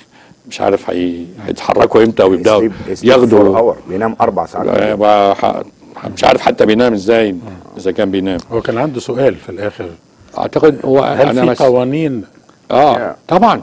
القوانين موجودة عندنا كل حاجة. مثل هذه الأفعال. مصر فيها أكتر قوانين في العالم. عندنا قوانين في كل حاجة. لو فكرت في في قانون. على على تفكيرك يعني ممكن يجيب لك قانون يقول إن أنت كنت بتفكر في الحاجة دي. يعني هي المفروض كلها بس نفعل القانون وبطء الإجراءات هو السبب في اللي إحنا تطبيق فيه القانون هو بطء يمنع الإجراءات. تكرار يعني مثل الرئيس. مش هيتدخل لك في. القضاء. طبعا. في ده ده يعني هدي لك أقرب مثلا.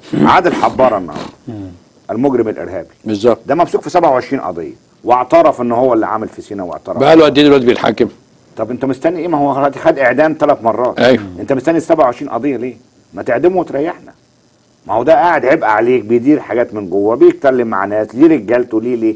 why وبي waste ال resources اللي موجودة. وما على حاجة تانية. ما ما في أمثال زي جوه موجودة جوه. ده أقرب مثل. إيه اللي معاه دلوقتي؟ ما خد اعدام خلاص المفتي كده عليه. بس وجودهم في السجون بي بي بيفرخوا ناس تانيين زي طبعا طبعا. يعني ما وبعدين كمان اللي بره بيبص عليه يقول لك ما هو قاعد بقاله خمس سنين ما حصلوش حاجة بياكل زي حازم أبو إسماعيل. ما شوف خارج عامل زي قاعد بياكل ويشرب وينام فرحان بالقعدة جوه خلاص. عايزين نفعل القانون يا جماعة مصر فيها أكبر قوانين في العالم. لازم نقف ده. الراجل النهارده بينقل لما تشوف المشاريع اللي بيعملها الرئيس السيسي ده مش مشاريع. ده وبعدين بيتكلم في إيه؟ في أسبوع وأسبوعين. المشروع دخل في سنة. المشروع دخل في إيه؟ عمل لك القناه في قد إيه؟ المشاريع. ال- هو المليون هو بص المليون فدان. هو اللي حصل إن الرئيس حرام. الرئيس السيسي ماشي برتم سريع.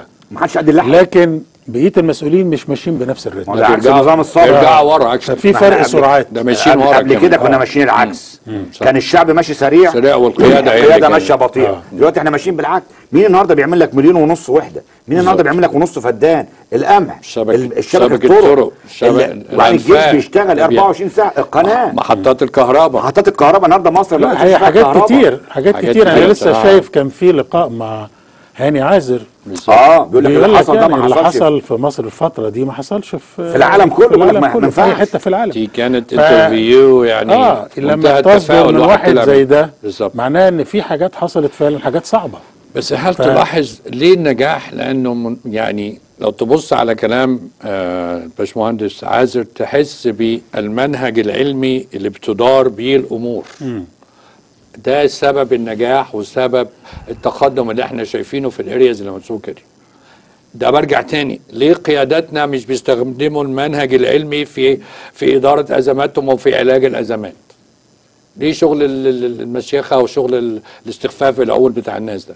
ما هو يعني, يعني two two examples في متضاربين. يعني مثلا هقول لك- للأسف هقول لك إن معظمهم مش كده لا لا ما كل- طبعا الغالبيه العظمى مش هي- كده ولكن هي اللي بتنهج يعني هذا. مثلا في أزمة الطيارة الأخيرة لا, لا، ده كان كانوا- شغل، آه، كانوا ممتازين ممتازين. كل ال- من ت- تعامل مع هذه صح. الأزمة كان بمنتهى الحرفية الروسية. والشفافية وكل حاجة والطياره الروسيه كانت كمان. عندي مثل حلو اللي هو وزير الكهرباء إزاي آه. هو بص على ال ال ال الإشكال اللي عنده وإزاي بدأ ي identify كل ال ال ال الأسباب اللي بتأدي كده وإزاي بدأ يحط ال resources إنها تخلي أو انه يغطي العجز اللي عنده ويصدر. وكذا. بالظبط. فأصبح وهيصدر. ما أنا مش بقول أنا بقول معظم بس للأسف معظم. الغالبية أكتر من النماذج المشرفة اللي إحنا بنشوفها دي.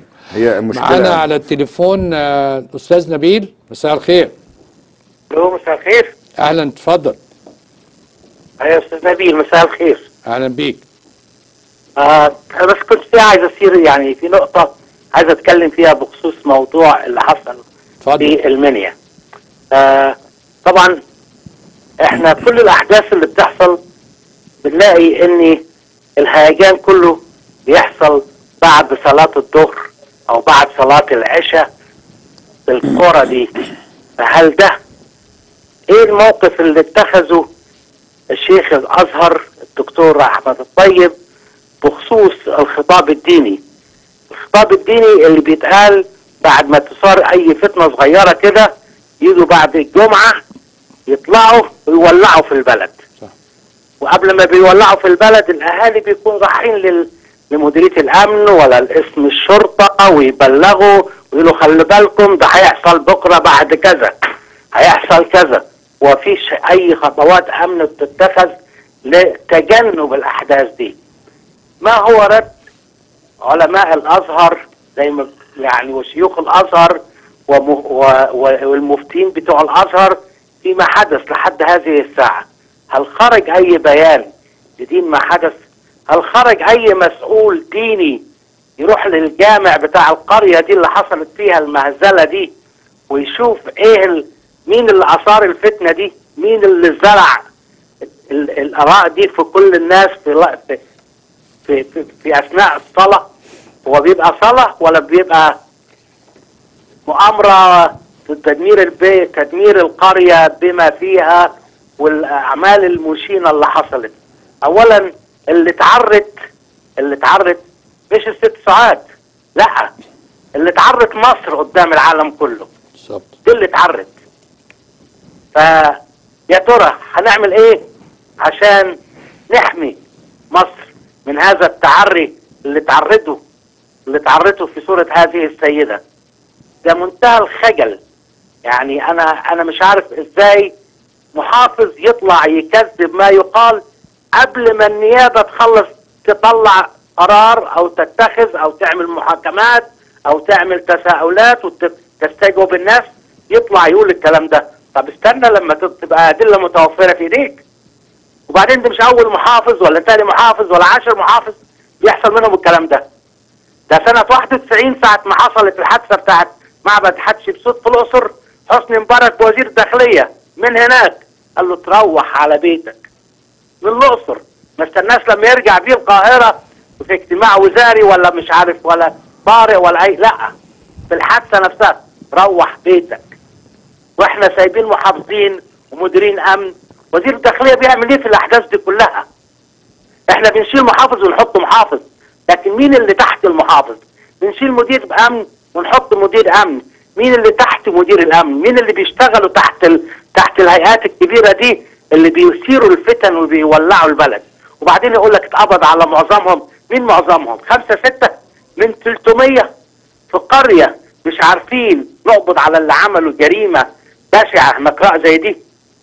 يعني أنا أتمنى حاجتين اتنين.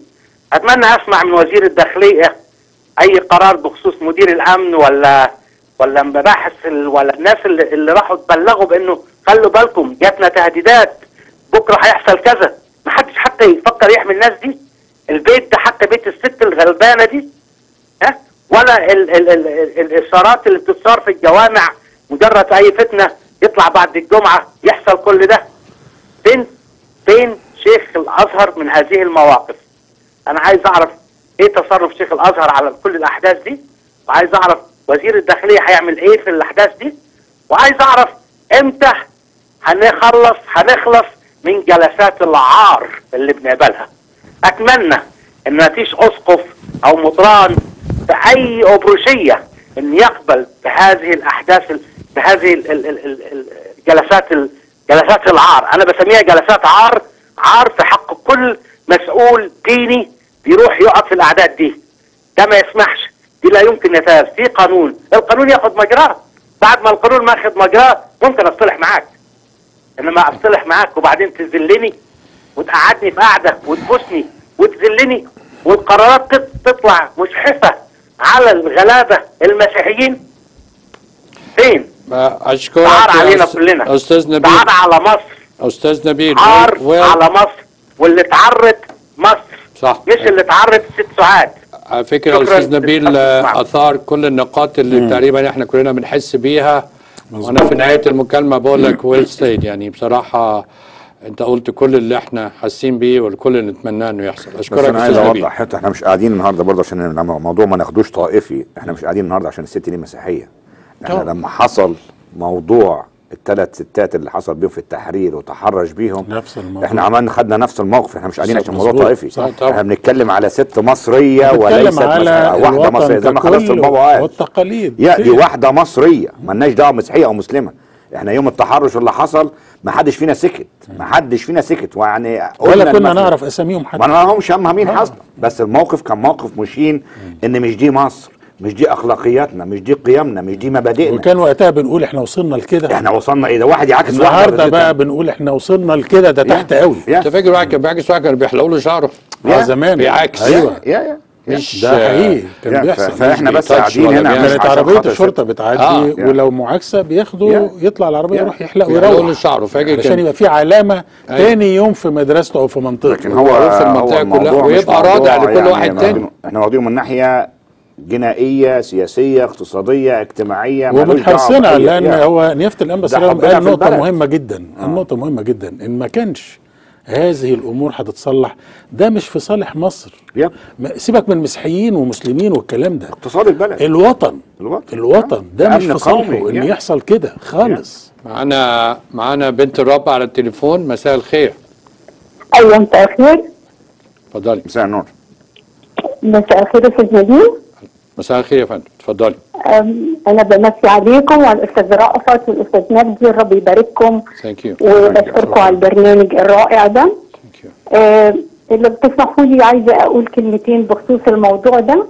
اتفضلي. آه، بالنسبة للسيدة سعاد ثابت آه، على قد ما أول ما سمعت ال- الأحداث الحقيقة يعني ما تخيلتش إن ممكن يكون في وحوش على الأرض آه، يعني تعمل حاجة زي كده. ما تخيلتش يعني فوق العقل البشري. لكن إبليس موجود وإحنا عارفين آه، أساليبه وعارفين أفكاره وعارفين تعاليمه اللي موجودة ومنتشرة في الشرق الأوسط كلها. آه، فهي سعاد أخذت إكليل ومجد رب المجد يسوع لأنها أهينت من أجل اسم أبوها السماوي من أجل سيدها و- وإلهها ومخلصها. فده إكليل أي مهما كانت الإهانة آم، ما نستاهلش إن إحنا نهان من أجل اسم يسوع. بس عندي اقتراح جميل جدا ويا ريت أسمع آرائكم فيه. إن أنا بتمنى إن إحنا في كاليفورنيا الجالية القبطية تستضيف السيدة سعاد ثابت ونكرمها ونقول لها قد إيه هي عظيمة. هي عظيمة لأنها كانت يعني أنتم شهودي يقول الرب. هي شهدت شهدت آه، آلام آلام عنيفة لامرأة مسنة آه، آه، حواليها 30 شيطان بتعاليم شيطانية. هي رغم إن هم فاكرين إن هم عروها هم ما عروش سعاد هم عروا نفسهم وعروا تعاليمهم وعروا أفكارهم وعروا العقائد اللي بيؤمنوا بيها. فهم اتعروا مش هي اللي تعرت هي متغطية بدم المسيح فأنا نفسي أسمع ارائكم بخصوص آه، إن إحنا نستضيفها في كاليفورنيا. و... ودي أقل حاجة أقل حاجة آه، نعبر بيها. ومعلش خد لا اخت الرب أنا عايز أقول. لحضرتك يعني طبعا فكرتك اكنك كنت معايا النهارده. أنا اقترحت هذا الاقتراح على المحامي بتاعها المستشار إيهاب رمزي وهو كان المفروض يبقى معانا النهارده بس عشان الساعة دلوقتي حوالي خمسة في مصر الصبح فبنحاول نجيبه. أنا اقترحت عليه هذا الاقتراح وقلت له أنا مستعد إن هي تيجي عندنا هنا وتشرفني في بيتي. فقال لي نستنى شوية لأن العملية هايجة والدنيا مش أكيد. مظبوطة. لكن ده في موجودة في الحسبان ويعني آه، بنشكرك على ان تفكيرك وتفكيرنا فان شاء الله. اسمح لي هقول جملة تانية قبل ما أقفل. اتفضلي. آه الحقيقة آه إحنا بنشكر ربنا آه من أجل آه آه يعني الرئيس السيسي إن هو فعلا أخذ إجراءات يعني محترمة بس عايزين تنفيذ. يعني أنا عايزة يعني نفسي أقول له جميل جدا إن أنت تيجي تعيد علينا جوه ال- الكاتدرائية وتيجي تورينا مشاعرك ومحبتك وده شيء رائع. إحنا مقدرين المشاعر لكن إحنا عايزين عمل. إحنا تعبنا من الكلام وتعبنا من الوعود. وإحنا عايزين حق وعايزين قانون وقانون يعني صارم وقانون ينفذ. مش قانون يعني آه، يعني زي ما تقول بس صدقيني الراجل بيعمل 24 ساعة المشكلة أنا مش فيه المشكلة في اللي حواليه يعني من الناس المفروض تساعده فيها. ولكن ولكن آه، آه، معلش يا أستاذ نبيل اسمح لي معلش إحنا متجرحين وتعبنا كفاية مش قادرين نستحمل أكتر من خلاص وعود مش هناخد وعود. القانون مش بياخد مجراه. الخمس أطفال دول عملوا إيه عشان مش عايز يطلعهم؟ ولا حتى في في العيد ما رفض إن هو آه، يفرج عن. دول أطفال. هو ما عندوش عيال. يعني أنت برضك مش معقولة. إحنا آه، مش عايزين نجامل حد على حساب يعني دول ولاد المسيح. إحنا ولاد ولاد الحق. دول بشر أطفال. يعني إيه؟ يعني إيه اللي بيحصل ده؟ إحنا فين؟ دي ولا الغابة. دي ولا الغابة فإحنا بنشكره لجناب الرئيس ولكن ولكن أنا عايزة أقول له إحنا مش هناخد كلام إحنا عايزين عمل والمحافظ ده لازم يقال من مر... من منصبه فورا المفروض في أقل من 24 ساعة ده ما كانش يقعد على الكرسي صح. كرسي إيه اللي قاعد عليه. ده ده. إنسان متخلف هو مش هو لوحده هو كل اللي موجودين معاه هو مدير الأمن. وبتوع المباحث والعمدة والناس إحنا بنطالب بالحاجات دي وما زلنا مش هنسكت هم عارفين ال... هم عارفين العصابة هم عارفينهم بالاسم واحد واحد أصل هقول لحضرتك على حاجة.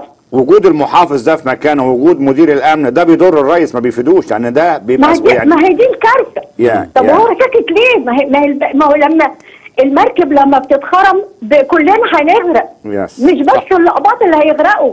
ما هو لازم يفهم النظرية دي. كلنا هنغرق. فهو ليه مش عايز ياخد كل واحد بيطلع يقول له إحنا عايزين قوانين صارمه وجدية وسريعة وثابتة. أنت مستني إيه؟ صح. أنت مستني إيه؟ حاجات كتير بتحصل غلط. وما بنشوفش حاجة غير الصمت ال- الرهيب. وتعبنا تعبنا أش. أشكرك يا أختي واللي أنت قلتيه بصراحة آه مش عارف أقول لك إيه يعني بت- بتطلعي كل اللي جوانا واقتراحك طبعا إن إحنا نستضيف هذه السيدة. ما أعتقدش إن في أي واحد موجود في أمريكا كلها بس مش بس في كاليفورنيا يبخل على إنه يستضيف هذه. الست. فوق بالظبط. أنا عايز أقول حاجة. إحنا المفروض يعني آه، دي طبعا ده نداء كمان برضو لسيادة الرئيس إن إحنا عايزين نرجع وزارة الإعلام. الإعلام عليه عامل كبير جدا جدا في تقدم هذه البلد ورجوع البلد دي ورا لو الإعلام ما تنظمش والقنوات الفضائية دي ما تنظمتش صح إحنا بنشوفنا في الفترة الأخيرة دي كلها في مهزلة بتحصل التاك شو مهازل اللي بيحصل بتحصل. ده موضوع. الإعلانات عشان الملايين تخش لجيب القنوات الفضائية دي يعني أنا عايز أسأل سؤال النهارده أنت بتجيب واحد زي ياسر برهامي ده عمال يدي فتاوي ليل ونهار على القنوات رايح جاي ويطلعوا الإخوة السلفيين السلفي الجهادي اللي هو هيدمر البلد ده بيطلعوا على التلفزيون وبيقولوا حاجات أنا بستعجب إزاي إزاي حاجات. تقبل وبعدين أنا اتكلمت مع واحد اعلامي بقول له انت ليه جايب ده؟ قال لي ما إحنا عايزين الناس تشوفه عشان يظهر حقيقته تظهر لمين؟ ما هو في واحد جاهل قاعد على القهوة مش متعلم مش مثقف انت بتديله بيسمعوا بي- فرصة ان هو ينشر افكار ده كان انت بتديله فرصة النهارده ان هو بيحط لك قاعدة عريضة من الجاهلين اللي قاعدين على القهوة ما بيشتغلوش وقاعد فكره ضيق وقاعد بيسمع الكلام ده يقول لك أنا أنا ما أعرفش إيه حصل إيه ده؟ أنا ممنوع لبس الشبشب ده حرام وممنوع لبس ده. كمان معانا مدام تريز على التليفون مساء الخير. مدام تريز أيوه. مساء الخير. لو سمحتي وطوا التي في التي في عشان بس تسمعينا من التليفون. okay أهلا. thank you اتفضلي. آه سلام للجميع. آه أستاذ نبيل والأستاذ رأفت والأستاذ مجدي. تحياتي ليكم. أهلا بيك أهلا يا فندم آه أنا آه، حضرت البرنامج من يا دوبك مدة 10 دقائق بس. الجزء الأخير في إنجازات السيسي آه اولا يعني آه إحنا قلوبنا كلها وعيوننا بتبكي من أجل السيدة اللي حصل لها هذا الموقف المؤلم. وإحنا كلنا يعني اتطعمنا بخنجر في قلوبنا لما شفنا ده. ومش هقدر أضيف ولا أقول جديد لأن الكل اتكلم وقال واللي عندنا أكتر بكتير. لكن ربنا يدينا نعمة إن إحنا نوصل من التجربة دي لنتائج افضل. آه الإنجازات بتاعت السيسي كويسة والراجل فعلا بيشتغل وكلنا نلمس هذا الشغل. لكن اسمحوا لي آه هدخل شوية جزء في تخصصي بالنسبة للبيانات الإحصائية. الموارد البشرية الموجودة متاحة في مصر حصل فيها نوع من أنواع الخلل اللي يقول لأي إنجاز هيتم للأسف الشديد مش هيأتي بثمر. إحنا عندنا في آه، افات كتيرة جدا في المخدرات وفي آه، السلوك. الموارد البشرية دي آه، تعليم أخلاق ثقافه الناحية التعليمية في مصر وصلت لدرجة للأسف الشديد. لما كان بيجي ناس واخدة بكالوريوس مش عارفة تكتب اسمها. صح مش بعمل اسمها يعني الجملة مظبوطة صح. بالعربي آه الثقافة مفيش سلوكيات مفيش تعليم مفيش أنا النهارده أنا ببني يمين ببني لشريحة مش مثقفة مش متعلمة ما عندهاش النضوج الفكري ولا النضوج العلمي ولا السلوك الاخلاقي المتحضر اللي يخليها تحافظ على اللي أنا بعمله اذا لابد إن إحنا يكون لينا رؤية من خلال تطوير الناحية التعليمية والناحية السلوكية والأخلاقية للمجتمع. المجتمع اللي في سننا زي حضراتكم عنده نوع من أنواع الأخلاقيات قد تفوق الامتياز. اللي تحت شوية فقط اللي تحتيه شوية فقط فقط فقط ففي فقد. لمستوى التعليم ومستوى السلوك ومستوى المعرفة مستوى آه، آه، الانتماء مست- مستويات كلها البناءه اللي هي تخلي آه، ال- الموارد البشرية نوع من أنواع الحائط اللي يسند أي تطور أو أي مشروع أو أي علم فئة أو أي مصدر تاني لرفعة الوطن مش موجود. أنا السيسي هيبني وهيجيب ويعمل خطة واحدة من واحد بتاع مخدرات انتهت. الأسفلت والجرائم اللي بتحصل والحوادث على الأسفلت كلها بتوع المخدرات أنا لما كنت سنة 81 بعمل برنامج استعباء التعداد السكاني لسنه 81 كان اللي سنهم آه تحت 15 سنة في 11% منهم بيشربوا كله بيشربوا سوري بيشربوا كله ويشربوا سجاير النهارده بعد 81 بيبقى إيه؟ يا هيكون إيه؟ بنى البلد إزاي؟ يا أختي تريزا اذا إحنا عندنا معلش إحنا الوقت بتاع البرنامج بدأ يخلص وأنا بشكرك على النظرة التحليلية اللي عملتها لنا وإحنا متفقين معاكي من قبل ما نبني ال- المنشآت وال- والعمار لازم نبني الموارد البشرية اللي موجودة عندنا. أشكرك وسعيد جدا ب- بمداخلتك. آه، هنحاول تاني مع المستشار إيهاب لو سمحتوا شوفوا إذا نقدر أو النائب نتصل بيه الخوري. بالنائب حسب الترتيب الموجود عندكم في الليستة. إذا كان ممكن نحاول تاني. آه أستاذ مجدي أعتقد إن بنت الرب آه، أعطتنا بصراحة مجموعة من النقاط اللي كل منها يعني لازم الواحد يقف عنده يتعمل له برنامج لوحده يعني. طبعا آه، طبعا. آه، من من من من قوة وعظمة و و وإيمان. آه، الست آه، سعاد- سعاد ثابت. ثابت.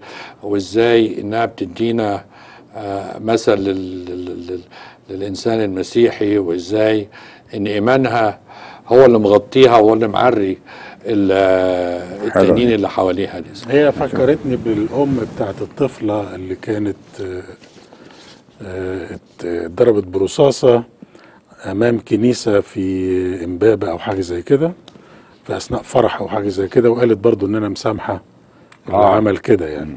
فهي دي ال ال ال هي دي المسيحية. الأخلاق المسيحية. مسيح- وبيني وبينك هي كانت زمان أخلاق كل المصريين. يا يس يعني مش المسيحيين بس كان. زمان يس. كل المصريين عندهم نفس الخلق صح أنا متفق معاك صح. إن في كده السماحة وال لأن إحنا عشنا الأيام دي كلها. والمودة. يا- إحنا عشناها الأيام. والمودة. و... وما زال الواحد برضه بيشكر ربنا إن ما زال لغاية النهارده في قلة منهم عندهم نفس المشاعر والله صدقني يا أخ مجدي برضه في في في مجموعة كبيرة يعني مثلا شوف النهارده آه. امبارح الفنان محمود أبيل وهو بيتكلم. مثلا آه يعني. الراجل امبارح وهو بيتكلم يعني أنا لا و و و و ويمكن آه آه أستاذ محمود آه على أساس إن هو يعني سفير النوايا الحسنه آه ف يعني. يعني انفعاله يعني لأنه ملم بتفاصيل كتير وعاصر حاجات كتير وبيشوف حاجات وحتى على هو يعني يعني. شوف أنا. ال ال ال الحاجة اللي مألماه مألماه جدا إن هو بيقول لك يعني التكبير اللي كان بيحصل في هذه المهزلة هو ده اللي إحنا كنا بنقوله أثناء العبور إزاي أنت يعني. تستخدم ده يعني. في العمل الوطني الكبير ده في العمل ال- القذر. الحقير ده صح. الحقير ده. وبيستخدموا الدواعش. إزاي؟ يعني. يعني ده ما كانش في مكانه. يس يس. فإهانة حتى. لل... لل... لل... للقيم. إهانة للقيم. فيعني الحقيقة الست سعاد يعني تجمع فعلا ما بين البساطة والقوة والإيمان. وإحنا برضو بن بنشجع الاقتراح ال- اللي اتعمل بالنسبة للأخت سعاد إن إحنا إن شاء الله وأنا شاكر ولا مبسوط اكشن إن الأستاذ رافض كان آه، بيحاول نفس المحاولة وأعتقد زي ما قلت لكم إن مفيش حد موجود هنا في البلد ابدا هيبخل فكرة على رائعة على هذه الفكرة إن وإحنا الوقت المناسب من- بعد ما بعد كل حاجة منطقه إن شاء الله. نحاول نجيبها. يعني. الإجراءات القانونية إحنا ممكن طبعا نعمل آه، كده نعمل حملة خاصة وأنا عارف. إنه مش يعني ما فيش إشكال في الموضوع ده خالص بالمرة يعني إحنا إن شاء الله تيجي وتقضي معانا كلنا. وقت كويس. تيجي على دماغنا وتدينا أمنا كلنا. وتدينا مثل حي للمسيحية الحقيقية بصراحة. شفت البساطة بتاعتها. شفت أنت بتتكلم إزاي؟ بتقول لك أنا مسامحة اللي عمله. كمان جايز يعني إحنا شوف إحنا منفعلين إزاي وهي بتتكلم بكل بساطة بتقول لك أنا مسامحة. دي خدوا اللي لابسها وجردوها وجروها في الشارع وبيكبروا عليها.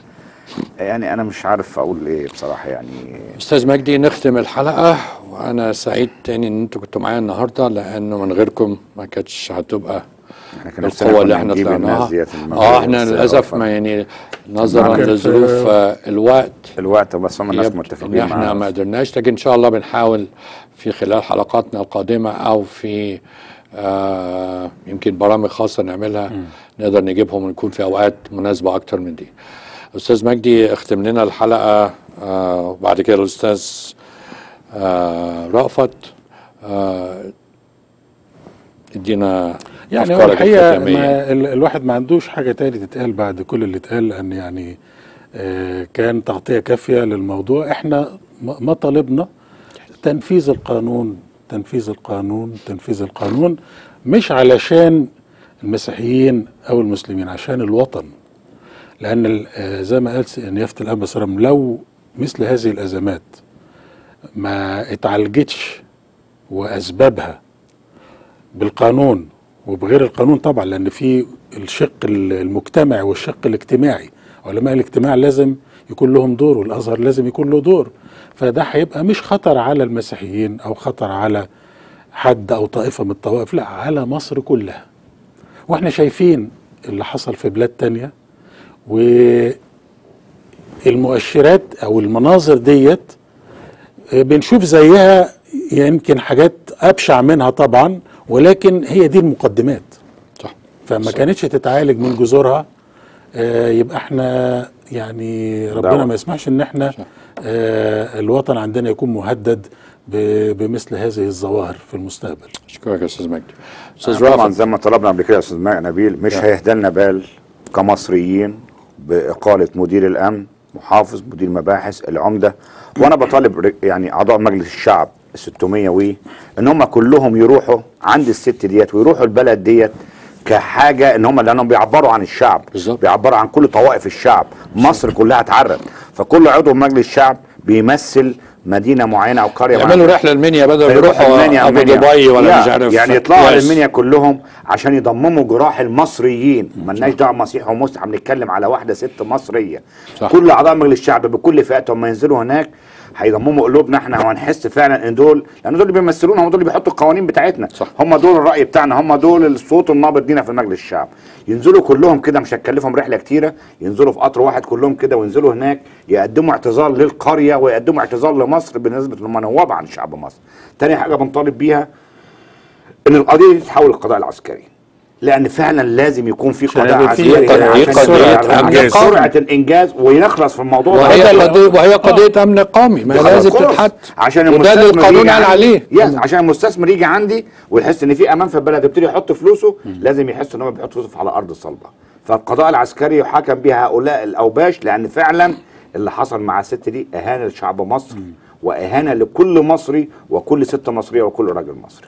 وربنا يحمي مصر ويحافظ على مصر. ويحافظ على رئيسها ان شاء الله بش بشكر أستاذ مجدي وبشكر أستاذ رافع شكرا. وبشكر في الحقيقة كل اللي عملوا مداخلات معانا. آه نيافة الأنبا المطران الأنبا آه سرابيون. آه سيادة السفيرة لمياء مخيمر وأنا عارف. إن هو كان موقف آه آه آه صعب شوية. لكن بشكر تدخلها معانا. آه فنان محمود. وبشكر طبعا الفنان محمود قبيل وكل مداخلاتكم اللي استمعنا ليها مع بعض. وأشكركم. ربنا يحافظ على مصر. ربنا يصلح الأحوال في مصر. آه وأنا دايما عندي إيمان إنه ربنا دايما حاطط إيده على مصر. تحيا مصر. آه تحيا مصر زي الأستاذ الأستاذ رافض عمال يوشوش لي تحيا مصر. آه أشوفكم على خير و إن شاء الله في الحلقة الجاية تكون الأحوال أهدى بكتير. تصبحوا على خير. قولي اللي حصل معاك تاني. اللي حصل على- معايا دخل عليا. طلع الراجل وفضلوا يضربوا فيه. وعلى الآخر راحوا راحوا يجيبوا غطوني أنا ومرمطوني على الجسر وقلعوني عريانه مول وما خلعوا الهدوم كلها اللي كانت عليا ودوروا فيا الضرب بس. وبعد كده هو كده دايرين يحرقوا في البيت وما خلوش حاجة لما خرجوا حرقوا البيت